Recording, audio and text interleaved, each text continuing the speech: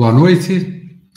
Nós estamos dando início à quinta e última sessão do Fórum Internacional de Educação dos Municípios do Alto Tietê. Esse fórum é uma realização dos 12 municípios que compõem essa importante região do estado de São Paulo, que são os municípios de Arujá, Biritiba Mirim, Ferraz de Vasconcelos, Guararema, Guarulhos, Itaquaquecetuba, Mogi das Cruzes, Poá, Salesópolis, Santa Branca, Santa Isabel e Suzano. Juntos, esses municípios congregam uma população de aproximadamente 3 milhões de habitantes, são cerca de 710 mil crianças, jovens e adultos matriculadas em escolas públicas e privadas de educação básica, sendo que nas redes municipais desses 12 municípios, nós temos matriculadas cerca de 300 mil crianças jovens e adultos também. Né? É, nós temos, sob a responsabilidade educacional de 15 mil profissionais de educação, professoras e professores, coordenadores, coordenadoras, professoras, diretoras de escola, enfim, técnicos das secretarias e todos que estão nos acompanhando, né? inclusive fora da própria região. Essa transmissão é feita pela internet, pelo YouTube, e, e, muitos outros profissionais da educação têm nos acompanhado né, nessas, nessas sessões realizadas pelo Fórum. O Fórum Internacional de Educação do município do ATT escolheu este ano esse tema da maior importância, que é a educação inclusiva e equidade. E para a realização desse fórum, nós contamos com apoio institucional de importantes instituições, né, que são a Unesco Brasil, a Undime de São Paulo, a Fundação Itaú Social, o Instituto Rodrigo Mendes e a Fundação Santilhana, né, que tem nos apoiado, inclusive, com a divulgação destas sessões de trabalho. Bem, é, nessa sessão de hoje, né, nós teremos um tema muito especial de encerramento, mas nós contamos com uma mesa, né, que, bom, essa sessão especial, ela será conduzida pela professora Eunice, que eu vou fazer uma apresentação mais detalhada dela daqui a pouquinho, e nós contamos com uma mesa representativa desta região, que é composta pela professora Aline Amorim Marques, secretária de Junta de Educação de Guararema. Muito obrigado, professora Aline, pela sua presença e participação. Pelo professor Caíque Lopes Maia, secretária de Junta de Educação do município de Santa Branca. Muito obrigado, Caíque. E também pelas professoras Paula Oliveira Ferracini, é, desculpe, Ferriance, diretora de escola do município de Guararema, e a professora Rosiane Aparecida Alves de Souza, que é professora de atendimento educacional especializado do município de Santa Branca. Esses integrantes da mesa que eu acabei de apresentar vão ter a prioridade, né, vão fazer as perguntas e considerações iniciais para a professora Eunice. Então, eu gostaria, então, agora de apresentar a professora Eunice, professora Eunice Domingos da Silva, ela é graduada em Pedagogia pela Universidade de Santo Amaro, tem uma vasta experiência na área de educação, sendo profissional de carreira que iniciou sua trajetória como professora, passando pelos cargos de professora, coordenadora, vice-diretora, diretora de escola e supervisora de ensino. Após 21 anos atuando como diretora de escola, ela foi escolhida para assumir o cargo de dirigente regional de ensino de uma das maiores regiões educacionais do estado de São Paulo, né, que é a Diretoria de, de Educação 3 Sul, onde ela está exercendo essa posição há sete anos. A professora Eunice já foi várias vezes homenageada né, pelo trabalho realizado à frente dessa diretoria de ensino, como, por exemplo, pela Câmara Municipal de São Paulo, recebeu a medalha MMDC Caetano de Campos, da Secretaria de Estado de Educação, o Prêmio Destaque da Educação da Agência Nacional de Defesa de Direitos Difusos da Educação e da Saúde, tanto em 2018 quanto em 2016. Enfim, é uma profissional da maior experiência e que tem lidado com temas de profunda diversidade, né, professor Eunice? Porque a Eunice trabalha com, com diversidade das realidades eh, sociais né, nessa região tão ampla, né, que e tão complexa aqui da região metropolitana de São Paulo, a diversidade das escolas, a diversidade dos profissionais, a diversidade de recursos e, sobretudo, as diversidades relacionadas às necessidades educacionais no campo da inclusão. E é sobre esse tema, né, de quem de que tem lidado com o, o gerenciamento de políticas públicas nesse contexto de diversidade, incluindo também situações de alta vulnerabilidade né, social e educacional, que a professora Onícia aqui nos brinda com a sua participação, a sua experiência, para tratar né, desse, da questão da inclusão, envolvendo também as interações, as relações e, sobretudo, daquilo que se passa nas escolas, no chão da escola. Né?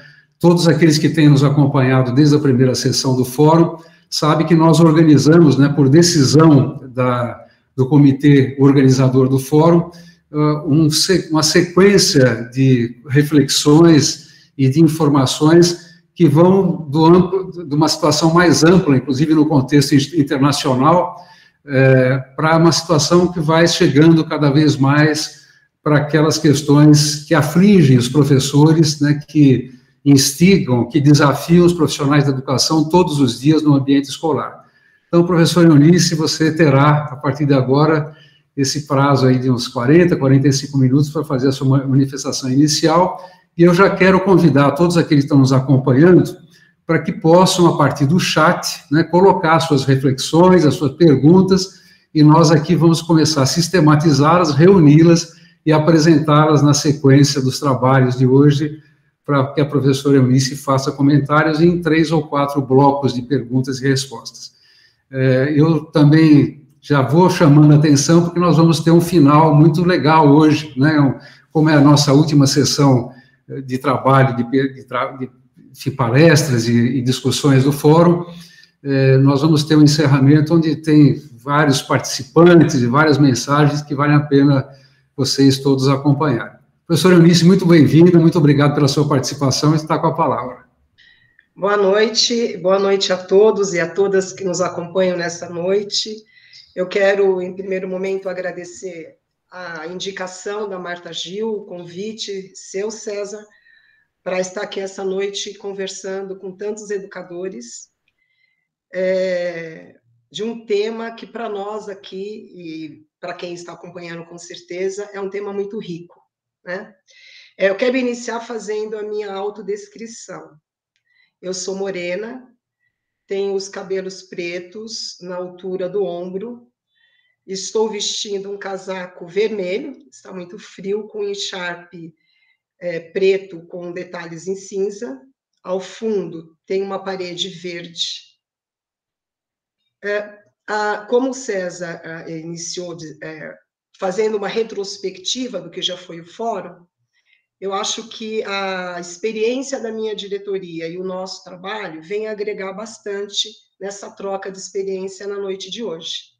Então, aqui já foi conversado um pouquinho com vocês sobre a definição da educação inclusiva, né? já passou pela questão da formação dos professores, a importância da formação continuada, já se falou um pouco sobre os recursos e acessibilidade, nós tivemos a fala com a adaptação curricular, hoje dando é, sequência a essa questão dos, dos desafios da inclusão dentro da sala de aula, eu trago aqui para a gente refletir um pouquinho no próximo slide alguns temas. Acho que é importante a gente perpassar sobre o, o, as metas do Plano Nacional de Educação e Estadual, a ODS, os desafios da educação inclusiva, a educação inclusiva, como ela tem se dado na nossa diretoria e que ações nós estamos fazendo para implementar e garantir que a educação inclusiva aconteça com qualidade.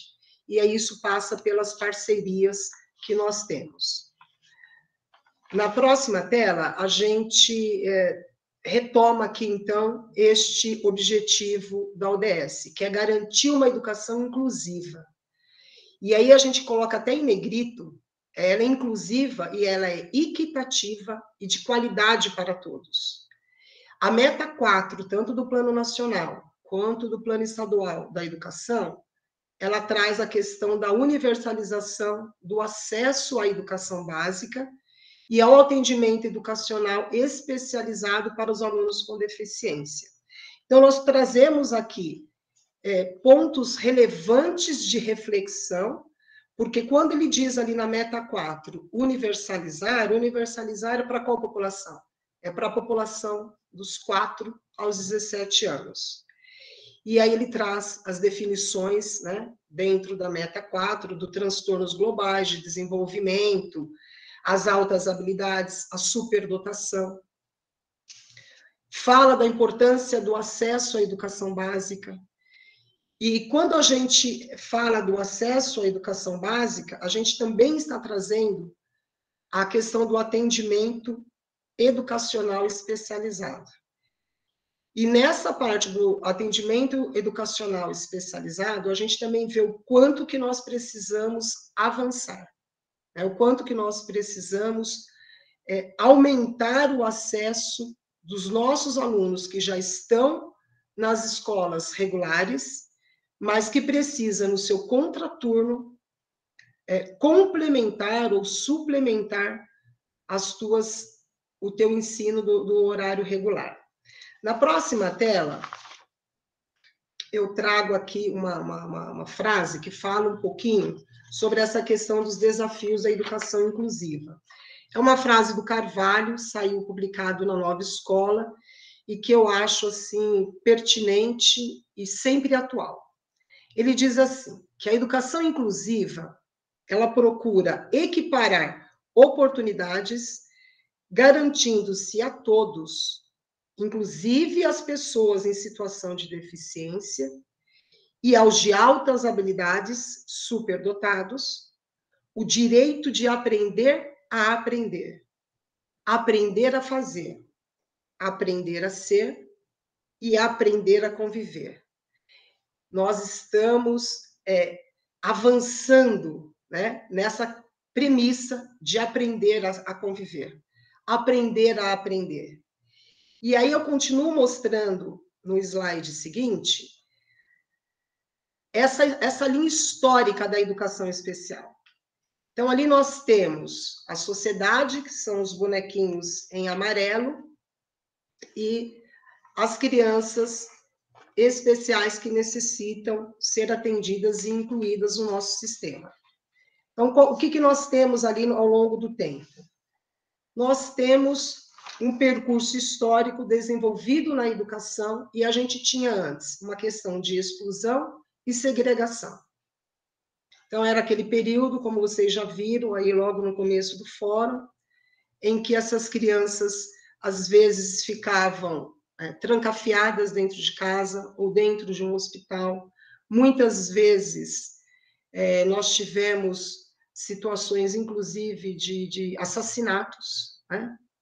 E com a legislação é, melhorando, se aperfeiçoando, a gente chega nessa fase de integração e inclusão, que é o que nós estamos vivendo agora e estamos falando aqui hoje. Na, na próxima tela, a gente fala um pouquinho dessa questão de como a criança teve o acesso à escola. Então, o primeiro momento foi como que a gente garante que esses nossos alunos que estão sendo matriculados, que tiveram o direito a voltar à escola e ao convívio social, estão aprendendo? Então, ali a gente diz que a inclusão não se reduz mais a garantir a matrícula do estudante. Nós avançamos nesta questão. Então, agora a gente vai para além disso, né? Nós estamos na fase de garantir o quê? A infraestrutura inclusiva. Então, nós estamos falando aqui de toda uma questão é, arquitetônica, né? Então a gente vai ter que vencer as barreiras arquitetônicas, nós temos que vencer as barreiras atitudinais, e a hora que a gente vence essas barreiras, que a gente consegue fazer com que as nossas escolas sejam acessíveis, tenham rampas, tenham elevadores, que os banheiros sejam acessíveis, nós estamos dando mais um passo para a inclusão. E a gente sabe como nós temos alunos com dificuldade de mobilidade, né, para subir escadas, porque ou ele anda de andador, ou ele tem é, muleta ou porque ele tem alguma dificuldade mesmo. Então, o primeiro passo para a gente garantir essa inclusão é vencer essa questão das barreiras. Nós estamos caminhando nesse sentido. Vencemos a questão da barreira, o que, que a gente tem que pensar? Nós temos que pensar nas questões atitudinais, na questão pedagógica. Então, olha a importância da gente rever o projeto político-pedagógico da escola sobre a perspectiva inclusiva. Nós tivemos um trabalho no ano de 2018, em parceria com a ONG Labor, para que todas as nossas escolas revisitassem o projeto político-pedagógico dela e fizesse essa parte de olhar para a educação especial e pensarmos como que nós vamos juntos melhorar e garantir a aprendizagem dos nossos alunos. Então, olhamos para o, o projeto político-pedagógico, a gente tem que pensar no quê? Nós temos que pensar em fazer as formações para todos os profissionais da inclusão, da educação, na área da inclusão. Então, aí todos significam a equipe gestora, os professores, as equipes de apoio, é, aquele que atende o aluno, né? Mesmo que seja para servir a merenda, o que atende o aluno no portão. Então, é, é, a gente fala assim, ah, ah, com a Constituição em 1988 começou-se a falar de inclusão, mas ela é recente. Então, a gente precisa garantir a formação. Passamos pela questão da formação, nós temos que pensar também em estabelecer as redes de apoio, que vão proporcionar a ação de especialistas para favorecer esse processo de ensino-aprendizagem. Então, é aproximando a rede protetiva da escola para auxiliar o professor que está lá na ponta, no chão da sala de aula, com toda essa diversidade e dificuldade, que para ele é novo. Então, nós sabemos que dentro da sala de aula a gente tem o nosso limite de ação. A gente precisa, sim, da ajuda do, da saúde, da ajuda do conselho tutelar, da ajuda de outros especialistas para que o nosso aluno avança e viva feliz, né? Porque a gente está falando aqui de viver com qualidade. E aí nós vamos falar em promover a flexibilidade e adaptação curricular em favor da aprendizagem, de modo a valorizar a diversidade. Então, a questão da adaptação curricular já foi bem dito aqui no quarto fórum, né, pela, pela professora Camila, mas é um olhar que nós, lá na diretoria de ensino, ensino também tivemos. Mais à frente, a gente é, vai relatar um pouquinho de como nós trabalhamos esta questão lá. Nós sabemos é, que a partir da Constituição em 1988, é, ela trouxe pela primeira vez essa concepção de educação inclusiva. Então, é a hora que o aluno volta a conviver na sociedade, ele tem espaço de entrar à escola, só que a gente estava falando ainda de um momento de uma sala de aula preparada para crianças especiais. Ele não estava na sala regular.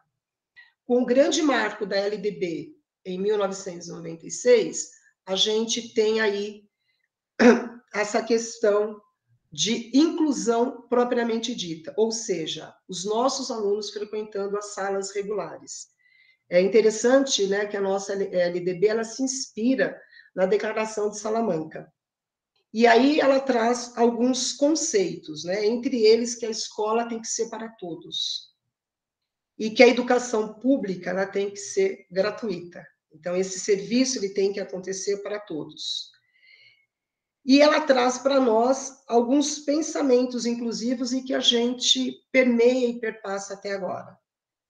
Então, o paradigma educacional atual é o quê? É acesso a todos ao aprendizado. Então, a gente falava acesso a todos à escola. E agora a gente tem olhar acesso a todos ao aprendizado. Ele trata sobre a igualdade de oportunidades, fala sobre o respeito às diferenças, porque nós temos, nós sabemos que nós aprendemos em ritmo diferente, em modos diferentes, nós temos habilidades diferentes e competências diferentes. Então, os nossos alunos, nós precisamos respeitar este momento deles e entender como que a gente trabalha, como que a gente ajuda essas crianças a desenvolver dentro do seu ritmo. Dentro desses pensamentos inclusivos, nós temos a valorização da diversidade, nós estamos num país muito rico, as diversidades, elas somam, elas ajudam. Nós estamos falando e temos que pensar na questão tão polêmica, né, que é sobre a questão da homogeneidade e heterogeneidade. Nós vamos é, refletir sobre como cada criança aprende do seu jeito e a questão dos métodos, né? A gente fala aí ainda que nós somos formados pelo método tradicional, como é que a gente faz essa adequação com o construtivismo, que ajuda bastante nesta questão é, diversas que nós temos dentro da sala de aula. E aí eu coloquei no próximo slide também uma trouxe é, a fonte do censo escolar do estado de São Paulo. Eu acho que é importante para a gente refletir, já que a gente está falando dos desafios que a gente tem para garantir a inclusão. Este gráfico ele representa, é, acho que de uma forma muito clara, que nós conseguimos, né, nós avançamos, a gente fala nós enquanto rede de ensino, a trazer os alunos para a escola. Então, a gente olha que a barrinha azul, anos iniciais, nós temos é, um número maior de alunos sendo matriculados na escola, a barrinha laranja são anos finais e a marrom, o ensino médio.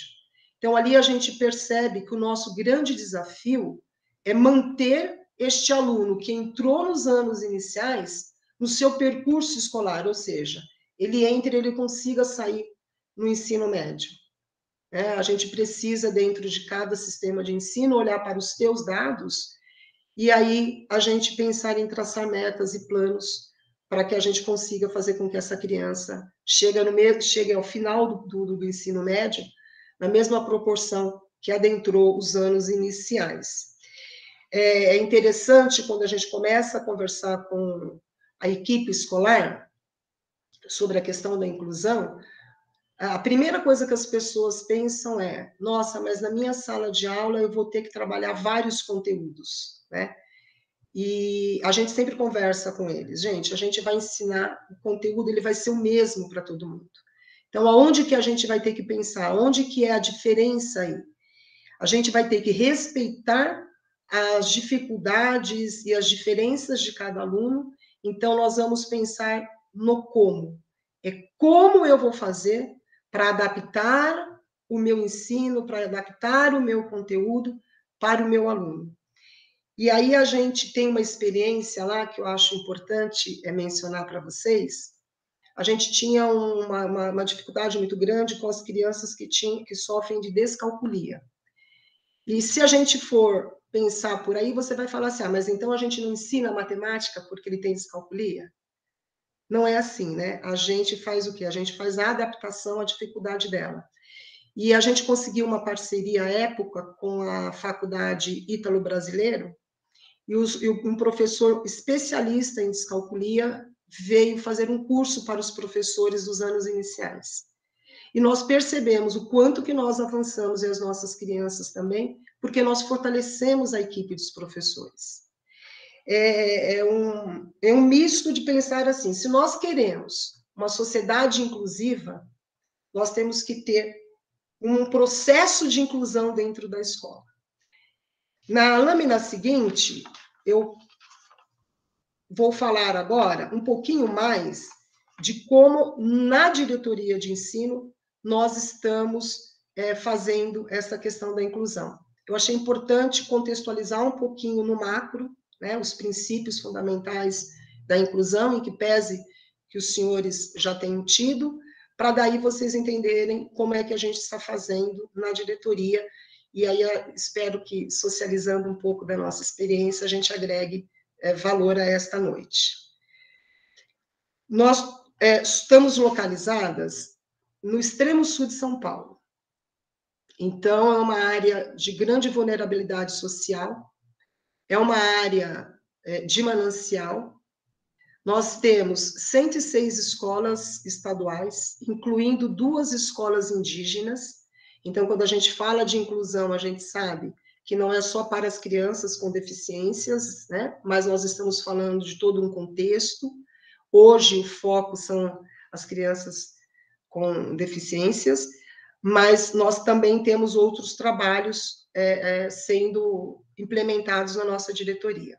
Nós temos 36.739 estudantes de anos iniciais, 30.671 alunos dos anos finais, 15.392 alunos do ensino médio. Dá uma, uma média de 3.200 professores, contando todos os funcionários, toda a equipe, são 6 mil pessoas.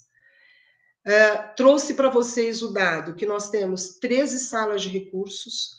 Então, se a gente for ver 13 salas de recurso para o universo de 106 escolas, ainda é um número pequeno. Esse número veio crescendo é, ao longo destes anos. Nós estamos envidando esforços para que mais escolas possam abrir uh, as salas de recursos. É, mas no momento nós temos 13 salas funcionando é, em dois turnos. Dentro desta perspectiva, nós achamos importante é, fazer uma pesquisa nas nossas escolas para a gente entender, dentro da escola, qual é o profissional que cuida da educação especial. Ficaria bem mais fácil para a gente quando a gente pensa em formação, quando a gente precisa de um dados, e aí nós tivemos esse resultado que eu acho importante socializar. 59,7% ah, das escolas, quem é responsável pelo acompanhamento da educação especial na unidade escolar são os coordenadores de organização escolar. Ah, para nós, nós mudamos a nomenclatura, é o antigo vice-diretor de escola. Né? Com o plano da nova carreira, as nomenclaturas mudaram. 24,4% é coordenador de gestão pedagógica, professor coordenador e 15% é o próprio diretor da escola é, quem cuida. Nós também fizemos uma outra, uma outra pesquisa, aonde a gente traz a questão das nossas escolas que já possuem acessibilidade. Então, 61% das nossas escolas já têm acessibilidade. E aí, dentro deste processo de implementar acessibilidade dentro da escola, a gente conta com o programa do PDDF federal, é o PDDE Acessibilidade, que eu acredito que os municípios também é, utilizam, mas nós tivemos um grande avanço com a criação do PDDE Paulista. O PDDE Paulista é, foi criado na Secretaria da Educação, agora na gestão do secretário Rocieli Soares, e ele manda para as escolas um volume maior de dinheiro. Então, a própria escola é, pode fazer as adequações. A gente, até um tempo atrás, dependíamos única e exclusivamente da FDE, que é a Fundação do Desenvolvimento, e agora as escolas recebem esse aporte financeiro para ajudá-las nesse processo de acessibilidade. Ainda temos um desafio em 39% das nossas escolas, Ali a gente também tem uma grande dificuldade pela questão do tamanho da, do, do espaço do terreno. É, tem escola que já ocupou todo o espaço e não tem para onde a gente é, criar, ou fazer mais uma sala. A rampa ela precisa de um certo espaço também. Então, nós estamos é, progredindo nesta questão. A outra pesquisa que nós fizemos foi em relação, para a gente ter uma ideia de como nós estamos com uh, uh, as crianças por deficiência na diretoria. Isso também nos facilita pensar em formação e pensar aí em como a gente ajuda as escolas. Nós tivemos é, uma surpresa, porque é, esses dados são deste ano, de 2022. Nos dados anteriores, a coluna maior era de criança com transtorno de espectro autista. E aí, este ano, nós tivemos uma diminuição e aumentou o número de crianças com deficiência intelectual. Nós acreditamos que um dos fatores para ter diminuído nas nossas escolas crianças com transtorno de espectro autista é porque nós tivemos duas escolas particulares credenciadas pela Secretaria da Educação, então eles, eles recebem esse suporte financeiro para é, matricular as crianças em escolas específicas. Talvez isso tenha é, mexido aí com os dados. Na, a outra pesquisa que nós fizemos e nós achamos é, importante é, socializar são as crianças que precisam de transporte e elas precisam de cuidador. Então, desse número de crianças que nós temos é, matriculadas com necessidades é, especiais, nós temos um volume de 69% dessas crianças que precisam de transporte. E 44% elas precisam de cuidador. E aí eu acho que era importante passar para vocês que tanto o transporte como o cuidador é um processo de pregão, e esse processo é instruído e feito pela própria diretoria de ensino. O cuidador aqui é para as crianças que não têm autonomia é, para se alimentar ou para fazer a sua própria higiene. Então, esse cuidador não tem é, o papel de auxiliar na sala de aula. Em que pese que a gente sabe, né, que tem alguns momentos que eles acabam é, fazendo esta parte também. É, pode passar para o próximo?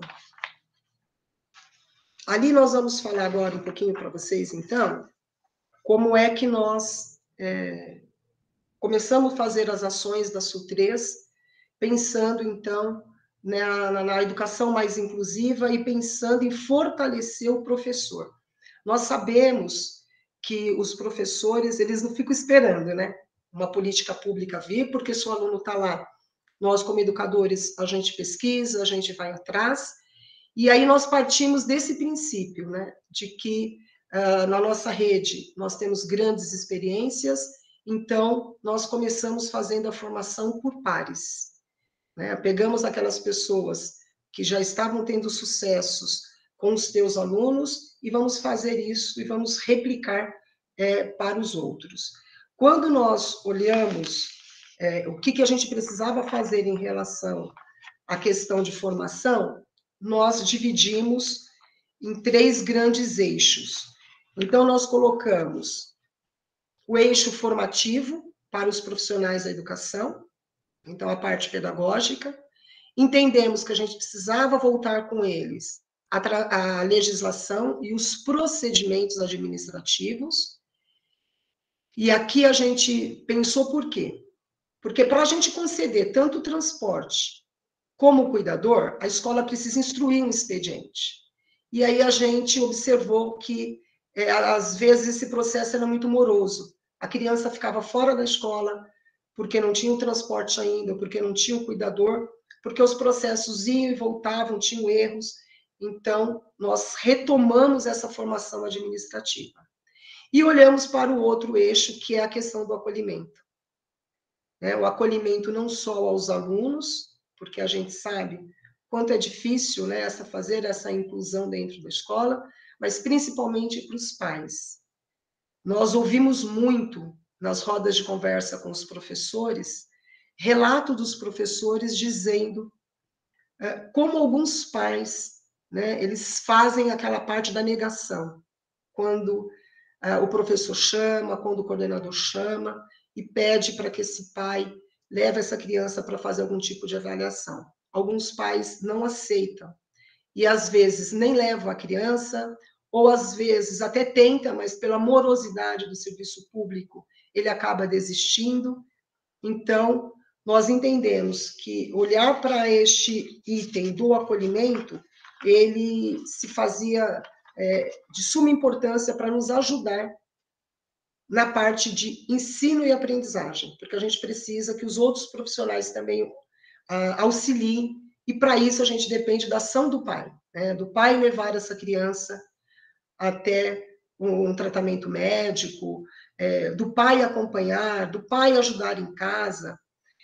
Quando a gente faz esse trabalho de, de acolhimento, que, que a gente estabelece ali? A gente estabelece um vínculo entre a família e a escola, a gente cria o sentimento de pertencimento, a confiança e o carinho entre todos os membros da equipe escolar. Dentro deste desta dessa sequência que nós iniciamos de formação, eu iniciei na escola é, na diretoria de ensino Sul 3 no ano de 2015, em meados de março. É, é, foi um ano muito complexo, era o, ano que nós, o, o, país estava passando pela maior crise financeira, As escolas estaduais passaram pela maior greve dos professores, foram 93 dias, e no segundo semestre de 2015, nós tivemos a questão da reorganização, e os senhores devem lembrar pela, pela mídia, nós tivemos a ocupação das escolas. Então, foi um ano muito complexo, e foi assim que a, a gente chega na diretoria. Mas eu fui apresentada naquele ano, atrás é, da nossa pro, é, professora especialista em currículo, que trabalha com formação, a professora Carmen Palmeira, ao Instituto ABCD.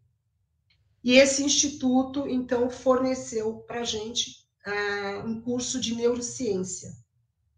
Esse curso ele foi feito aos sábados, né, para que as pessoas pudessem participar, com direito à certificação para evolução.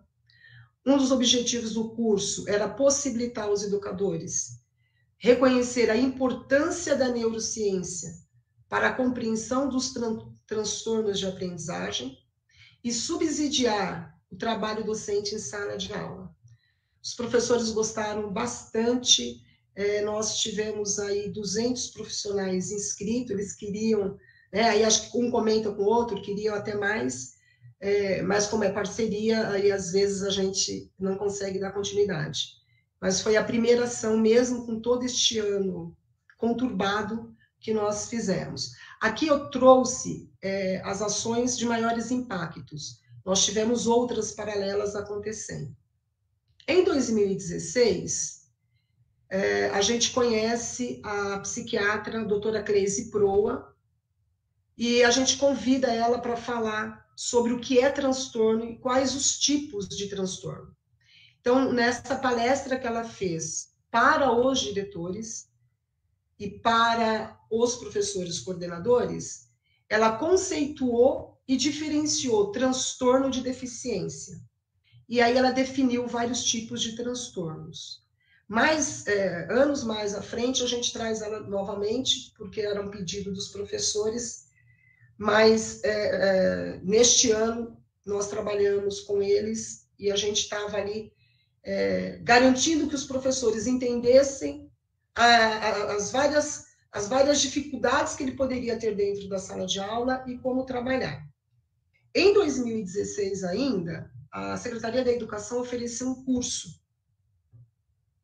Era Educação Física e Inclusão. E aí a gente que estava sempre acostumado ali trabalhar, né, com os professores da sala especial, porque a gente ainda tinha, com professores é, da sala de recurso, né? Nós trabalhamos no primeiro momento muito com o professor de anos iniciais, onde era o nosso foco maior de crianças com algum tipo de deficiência. Nós ampliamos para o profissional de educação física. Foi um curso também muito proveitoso. Né? A gente conseguiu mostrar para os professores como incluir os nossos alunos nas aulas de educação física. Em 2017, nós é, retomamos, entendemos que era importante retomar com os profissionais das escolas, porque nós tivemos uma movimentação muito forte de diretores, de professores, as pessoas foram se aposentando. Então, nós, nós percebemos que era importante retomar com eles é, diretrizes e procedimentos da educação especial, trabalhamos novamente a legislação, é, mostramos para os diretores como é que a gente fazia, qual era o procedimento para eles pedirem abertura de salas de recurso, mostramos como é que eles deveriam estar com a documentação dos alunos toda em ordem, falamos do plano de atendimento individualizado, porque nas visitas dos supervisores às escolas, nós tivemos a informação de que os nossos alunos, eles não tinham, né? O aluno que não era laudado, ele não tinha esse plano de atendimento individualizado, e isto gerava muita judicialização. Então, o Ministério Público é, entrava com, com mandado de segurança e a gente tinha que estar respondendo. Então, nós entendemos que a gente precisava fazer essa grande formação sobre a legislação, sobre o trabalho. Nós apresentamos o trabalho do professor da sala de recurso, nós falamos novamente sobre as redes protetivas, que eles olhassem ao entorno, que eles fizessem as parcerias. E eu retomo aqui para vocês como é de suma importância nós temos parceiros né, nessa jornada para que a gente tenha êxito.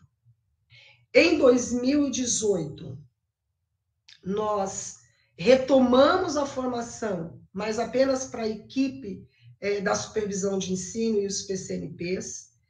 É, em 2017, eu não coloquei ali, mas acho que é importante a gente citar, nós tivemos uma grande formação para os professores e para os diretores sobre o novo ensino médio inclusivo. Então, nós já começamos a falar ali de como trabalhar no novo ensino médio a inclusão.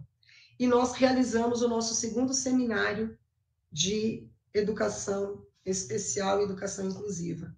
Por isso que eu é, estou muito feliz de estar aqui com vocês. Essa iniciativa dos secretários do Alto do Tietê é fantástica. É assim que a gente tem que fazer mesmo, né? Nós temos que conversar, discutir, trocar ideias, trocar experiência, porque quem ganha com isso são os nossos alunos. Em 2019, a gente tem aí uma grata parceria. A gente é apresentado ao Instituto Coexistência, através do pastor Eliel, que na época estava à frente desse instituto. Ele traz algumas parcerias para a nossa diretoria e quando ele vê o nosso trabalho voltado para a educação especial, ele diz para a gente que teria como trazer um trabalho da, do Instituto da Mara Gabrilli, que é esse projeto Cadê Você? E aí nós percebemos que realmente ele viria somar as ações do trabalho da diretoria de ensino. Então, nós já estamos focados na infraestrutura, nós estamos olhando para a formação dos professores, mas os professores sempre diziam para a gente que aonde que tinha o problema para eles agora na sala de aula? Eram as crianças que não estavam laudadas, mas que tinham grandes dificuldades de aprendizagem. Embora às vezes o pai fosse parceiro, como eu comentei, a gente tem toda uma questão de morosidade do sistema. E a parceria com a Mara Garabrilli, esse, esse projeto, ele, tra ele trazia para a gente é, especialistas que iriam fazer a consulta, a avaliação e olha que interessante, o encaminhamento das crianças que necessitassem. Como eu mostrei para vocês nos slides anteriores, a nossa diretoria é muito grande. Então, nós tivemos que usar de critérios de como a gente aproveitaria este mutirão é, multidisciplinar do projeto da Mara Gabrilli. Então, nós temos as nossas, as nossas regiões, elas são divididas em cinco. E nós montamos cinco polos. É, pegamos uma escola numa região, e essa escola iria, no final de semana, em parceria com o programa Escola da Família, era uma escola que já abria de sábado, ela iria ceder um espaço para que a equipe da Mara Gabrilli pudesse ir até essa escola e receber os alunos ao entorno e fazer a avaliação multidisciplinar. A equipe da Mara Gabrilli é, era composta por fonoaudiólogos, psicólogos, psicopedagogos, assistente social. É, eles mapeavam o local, a gente passava para a equipe aonde ia acontecer, membros da equipe é, do, da, do Instituto ia antes da região, então eles já faziam contato com a OBS local, eles faziam contato com o Conselho Tutelar, com o CRAS, e no sábado que ia ocorrer, eles tinham representantes dentro da escola de todas as instituições. Então, eles faziam o atendimento individual da criança, e o que eu achei fantástico, eles faziam o atendimento do pai também. Então, dependendo, ele fazia o atendimento da família. E ali eles conseguiam muitas vezes fazer o convencimento da família, porque já saía fácil, né? A criança já saía com o atendimento. Bom, fizemos no sábado, fizemos o mutirão, sucesso, você via todo mundo lá, era muito difícil a criança ou o pai faltar, né? O Instituto também mandava uh, pessoas na escola para conversar com os professores, para estabelecer critérios, para evitar aquela questão, de repente, encaminhar uma criança porque ela é indisciplinada, né? O fato dela ser indisciplinada não quer dizer que ela tem uma, uma deficiência. Então, auxiliava até na escolha das crianças para fazer o encaminhamento, para que ele fosse bem efetivo. Depois de passado e encaminhado, não acabava o trabalho do Instituto da Mara Gabriel. A assistente social acompanhava. Então, digamos que é, a criança não tenha ido, por algum motivo, no encaminhamento no dia marcado. A assistente social, eles, eles iam até a casa dos pais, junto com o conselho tutelar, para entender por que, que essa criança não foi, o que, que aconteceu, e aí é, faziam uma nova remarcação. Neste ano de 2019, até a gente conhecer, fazer a parceria e implementar, nós conseguimos realizar dois mutirões em duas regiões. as outras três regiões, elas estavam para acontecer no ano de 2020. E aí é justamente o ano que vem a pandemia. E nós não conseguimos, infelizmente, dar sequência. Estamos aí é, tentando ver se a gente retoma esta parceria que para nós foi fundamental, porque um dos grandes, é, uma das grandes reclamações dos nossos professores se dá realmente na avaliação, no acompanhamento, no diagnóstico e na parceria por outros especialistas no desenvolvimento dos nossos alunos. E eu sempre digo para eles, né, que para a gente poder falar realmente de inclusão, nós temos que garantir que essas crianças estejam aprendendo e se desenvolvendo de maneira efetiva dentro da escola. Então, a nós, né, que estamos aqui nos órgãos centrais, cabe garantir os meios, ajudá-los. E essas parcerias é, sempre vêm somando e ajudando. Ainda no ano de 2019, nós fizemos a revisão é, do, projeto político-pedagógico das escolas, em parceria com a instituição Labor, nós fizemos uma orientação técnica para os professores de educação física e aqui nós trouxemos os professores de artes. Nós trabalhamos com ele musicoterapia. Então, a música e o movimento, interfaces na adaptação curricular. Então, nós fomos ampliando. Então, cada hora a gente ampliava um pouquinho mais os professores, porque a gente começou a ver a angústia dos professores de anos finais de ensino médio em como ajudar em tão pouco tempo de aula as nossas crianças que estavam lá numa situação de inclusão. E aí, em 2020, nós partimos, então, para ajudar os nossos professores. Nessa época, a gente estava fazendo, tendo aulas online, as nossas formações também eram à distância, e pensando naquela premissa, né, de nós trazermos a a, a aprendizagem, né, a troca por pares, as trocas de experiência por pares, nós convidamos a professora Camila, não é a Camila que trabalhou no quarto fórum, é uma professora da nossa região, que já tinha uma grande experiência com as crianças de educação especial, e ela veio mostrar para os nossos professores como é que dava para fazer adaptação curricular por área. Então, nós temos o horário de trabalho coletivo dos nossos professores na rede estadual, feito por área. Então, nós tínhamos o dia da área da linguagem, o dia da área de, de ciências da natureza, ciências humanas e matemática. Os nossos professores formadores, por área, passavam para a professora Camila a habilidade daquele bimestre. Em cima da habilidade, ela fez adaptação curricular e nestas ATPCs ela passava para os professores ideias de como fazer adaptação curricular. Nós atingimos de modo síncrono é, 300 docentes, mas de, de forma síncrona foi maior o número, porque as pessoas assistiam no horário que não era o horário de ATPC deles. É, e aí nós, em 2021, com a parceria novamente com a instituição Labor, e aí a Manquei junto com a Marta Gil, nós oferecemos para a, o trio gestor, porque lá naquele dado vocês viram que a gente já tinha mapeado quem cuidava de educação especial na escola, então nós oferecemos tanto para o diretor, como para o vice, como para o professor coordenador, esse curso, é um curso durou um ano, a prática da educação inclusiva. Esse curso, os professores, a equipe gestora, é, tinham toda uma teoria e exercícios de prática, e aí eles levavam como se fosse uma tarefa para a escola, aonde eles iam exercitando aquilo que eles estavam vendo lá. E na, na, na aula seguinte, vamos dizer assim, eles socializavam. Então, olha que maravilha, né? As experiências múltiplas que nós tivemos é, de, de retorno em cada quinzena. Uh, dentro desta, de, desta parceria, nós tivemos três escolas piloto.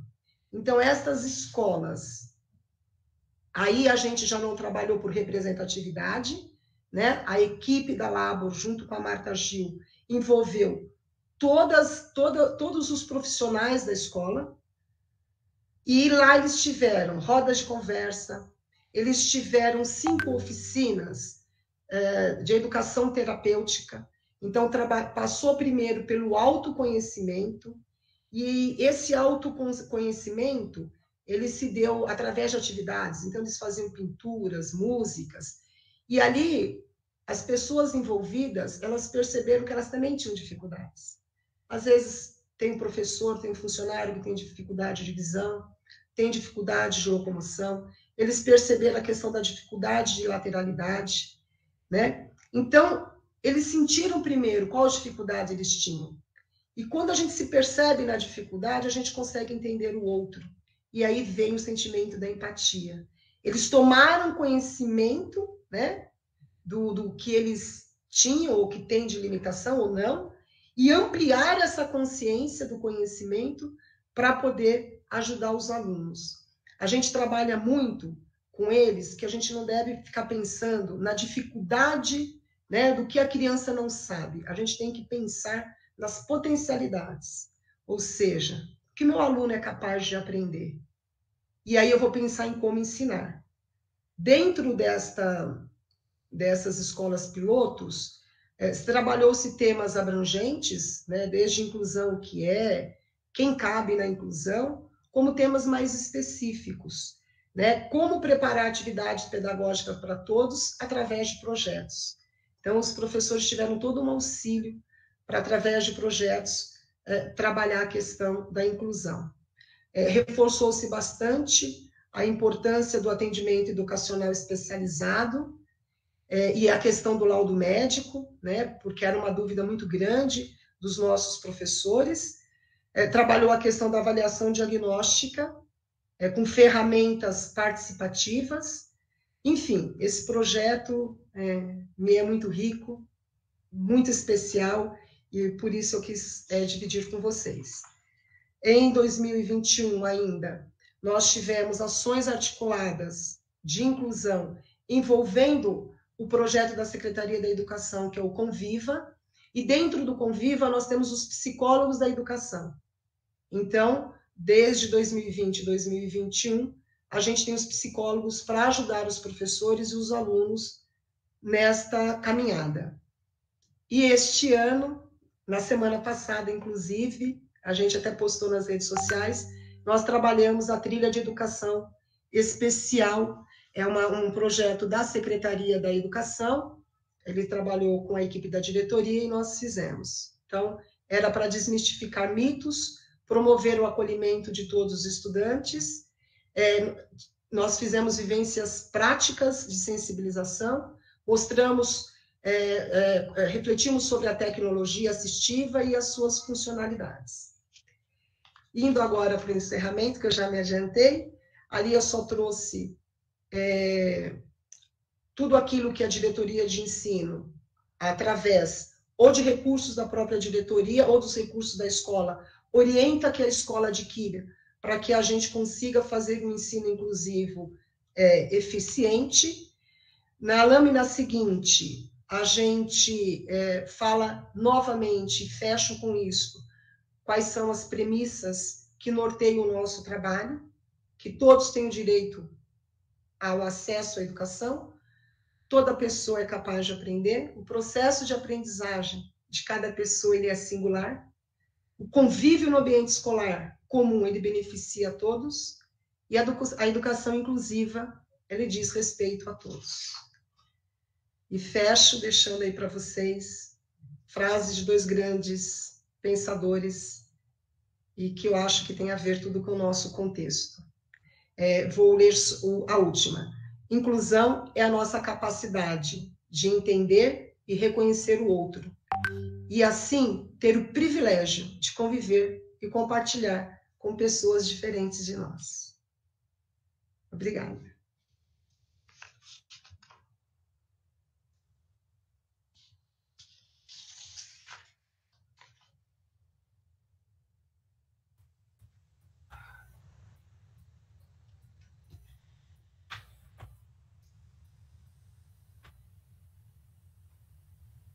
Eu acho que está fechado, César, seu microfone. Seu microfone, professor. Vou voltar aqui. Para sempre. Tudo isso para dizer o seguinte: se tivermos, espero que tenhamos outros fóruns que eles sejam presenciais também, né? Com certeza. Porque, porque nada, nada se compara com essa essa relação quente entre as pessoas. Mas enfim, também a gente não pode desprezar é, esses recursos tecnológicos que estão nos permitindo. Né? Só, só para vocês terem uma ideia, nessas, nessas quatro sessões do fórum, é, nós já tivemos cerca de 20, aliás, de 32 mil visualizações. Então, as pessoas acompanham, acompanham na região, acompanham nos municípios, nas escolas e até em outros lugares do Brasil. Mas, enfim, eu estava dizendo então que nós vamos dar, iniciar. É, nós já temos recebido aqui várias questões e comentários pelo chat, espero que vocês continuem a fazê-lo, né, comentários e, e, também perguntas. Mas passando imediatamente à mesa, eu gostaria então que fizesse a sua pergunta, o seu comentário, a professora Aline Amorim Marques, que é secretária de Junta de Guararema. Por favor. Boa noite a todos. Eu sou uma mulher branca, de cabelo loiro, curto, uso óculos, estou aqui com uma blusa preta, um blazer branco. Gostaria de parabenizar a organização desse terceiro fórum, né, com um tema este ano tão relevante, tão urgente para a educação, que é a educação inclusiva e a equidade. Quero agradecer a participação dos, das equipes escolares né, de Guararema, em especial a professora Vivian, que esteve à frente aí das tratativas organizativas do fórum.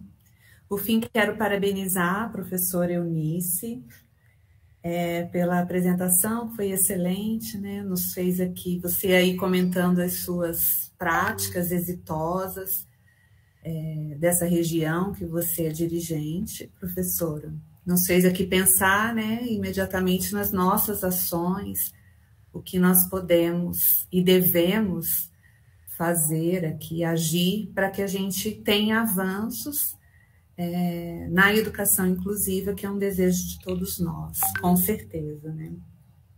Pensando na legislação que traz metas e garantias de direitos sobre o atendimento educacional especializado, pensando que a escola, todos sabemos, é para todos.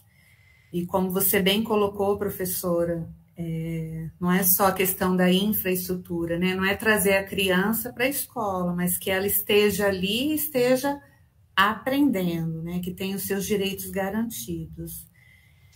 E aí eu pensei muito numa frase, num, num, episódio que você citou, que foi a ocasião da que atuou aí com vocês em parceria o Instituto Mara Gabrilli, é, que era uma colocação dos professores, essa questão do laudo, de, de ter, de sentirem a necessidade do laudo, para então, é, de repente, não sei, é, conduzir aí as questões referentes a cada, cada necessidade, enfim.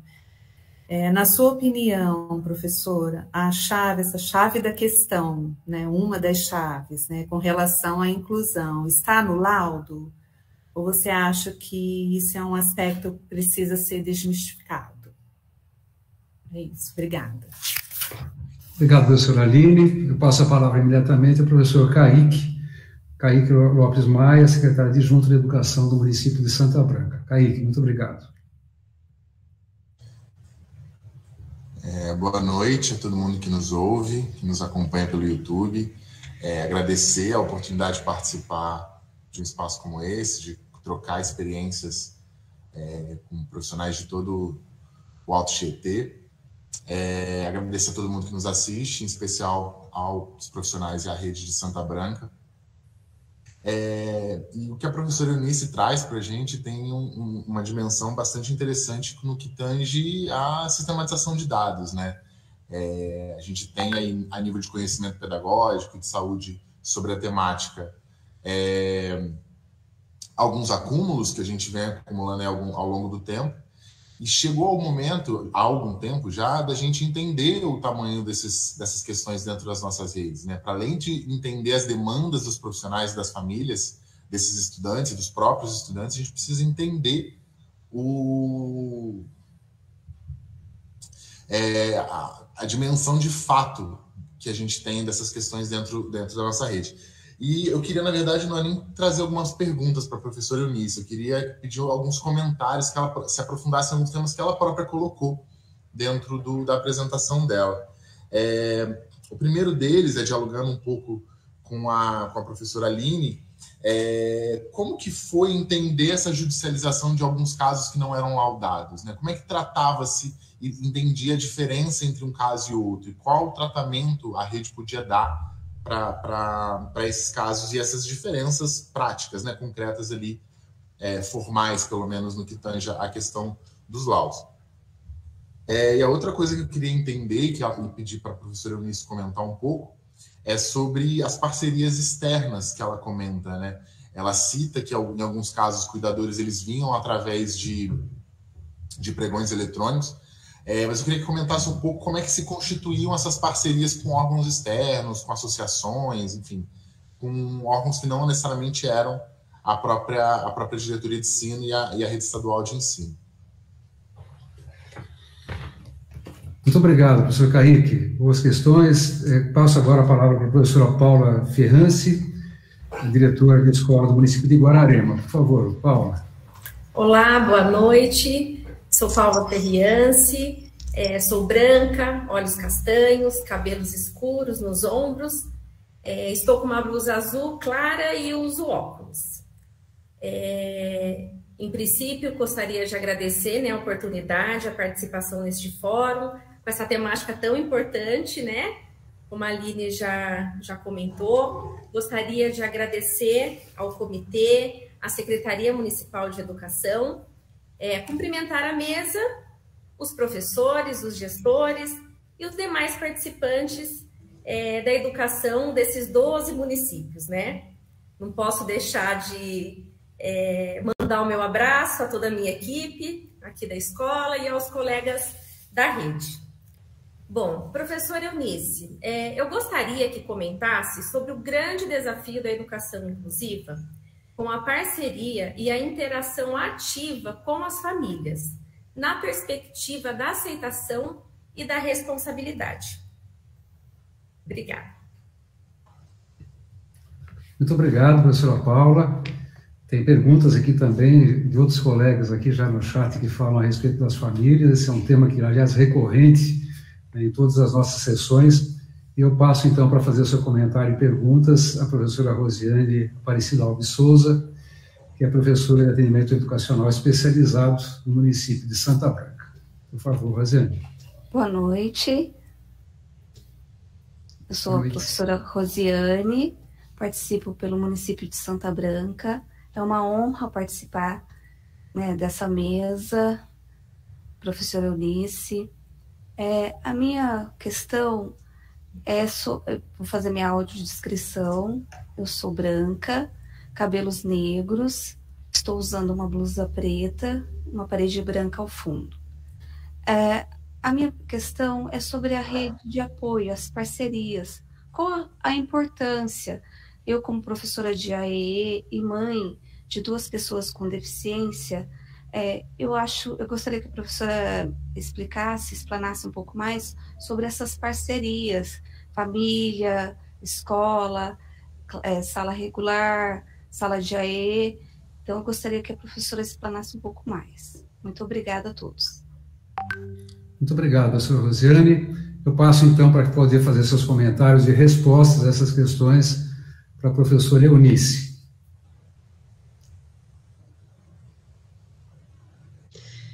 Obrigada aos colegas que estão aqui pelas colocações, né? a Paula, o Kaique, a Aline e a Rosiane. É, vou fazer aqui um, um apanhado, porque eu acho que acaba tratando aí sobre a mesma premissa. Bom, pensando aqui sobre a questão do laudo, né? O laudo é uma coisa que às vezes a gente percebe o quanto aflige os professores. É, nós sabemos que o laudo ele complementa. Né? Eu acho que ele não é o fator pre preponderante neste momento. Então, em que momentos realmente você diz assim, olha, sem o laudo a gente não dá um passo seguinte? É na hora que a gente tem que fazer a parte legal, ou seja, conceder um transporte, conceder um cuidador, porque ali envolve recursos públicos e para isso você tem que comprovar. Você só pode comprovar através de laudo. Mas em relação à frequência, né, o apoio dessa criança à, à sala de atendimento ou a qualquer outra especialidade, a gente pode encaminhar essa criança. A equipe é, da sala de recursos, ela faz a avaliação pedagógica do aluno e ali ela vai ver qual é a necessidade pedagógica desse percurso de aprendizagem da criança.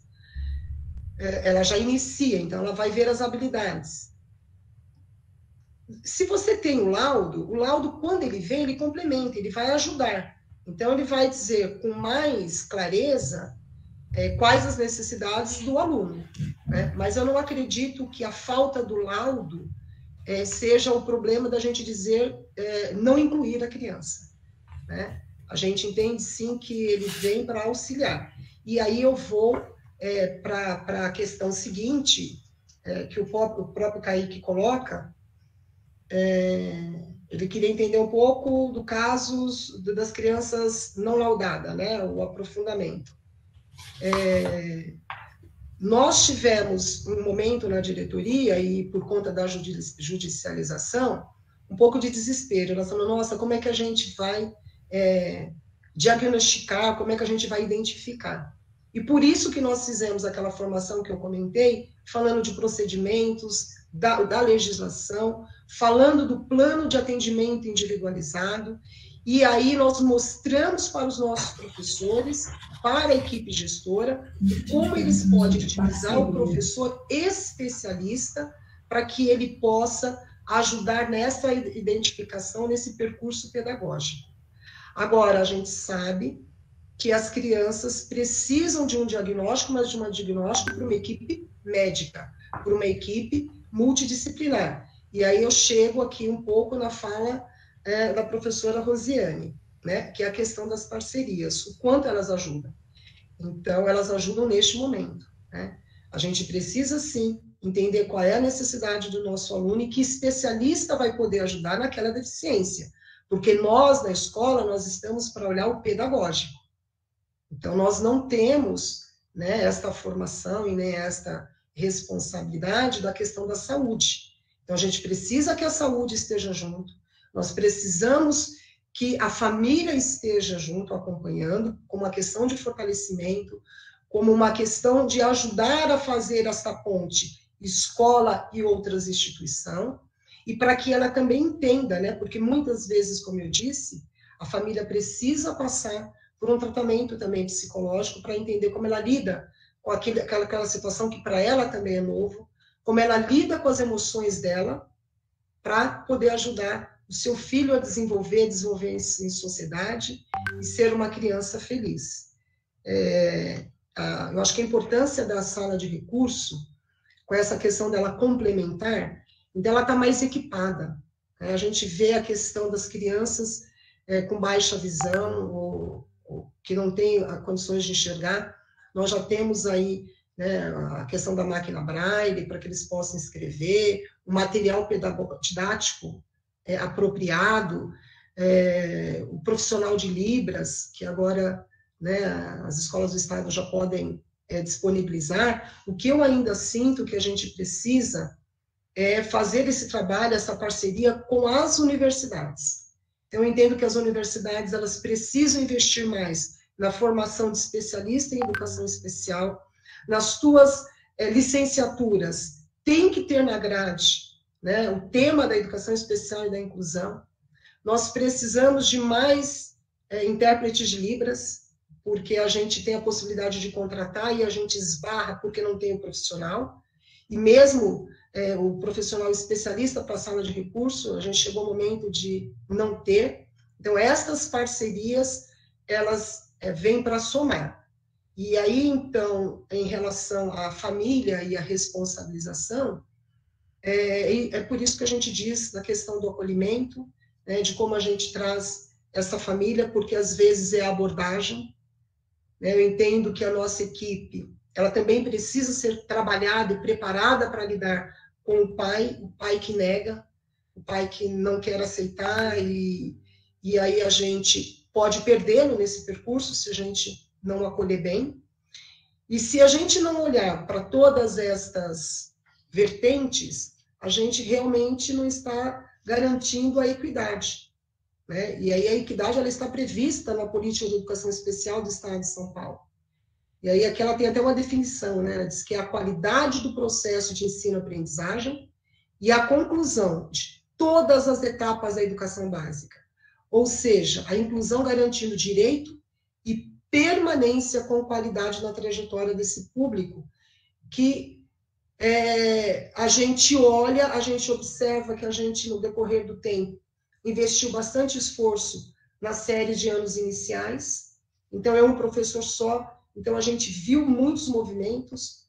Eu tive a oportunidade de ver várias escolas desenvolvendo ações fantásticas com os alunos, né? então a gente tem as datas comemorativas, você vê é, as professoras de anos iniciais incluindo, as crianças acolhem bem, quando você faz esse trabalho de inclusão com todos, é, nós tivemos a oportunidade no nosso desfile cívico, é o quarto ano consecutivo, consecutivo não porque a gente é, deu um tempo aí na pandemia, mas nós tivemos 71 escolas desfilando e duas escolas trouxeram alunos de inclusão. Foi um momento de grande emoção. Nós tínhamos crianças segurando o estandarte da escola, síndrome de Down e uma outra é, deficiência intelectual. Nós tivemos criança cadeirante desfilando na avenida, levado por uma outra criança.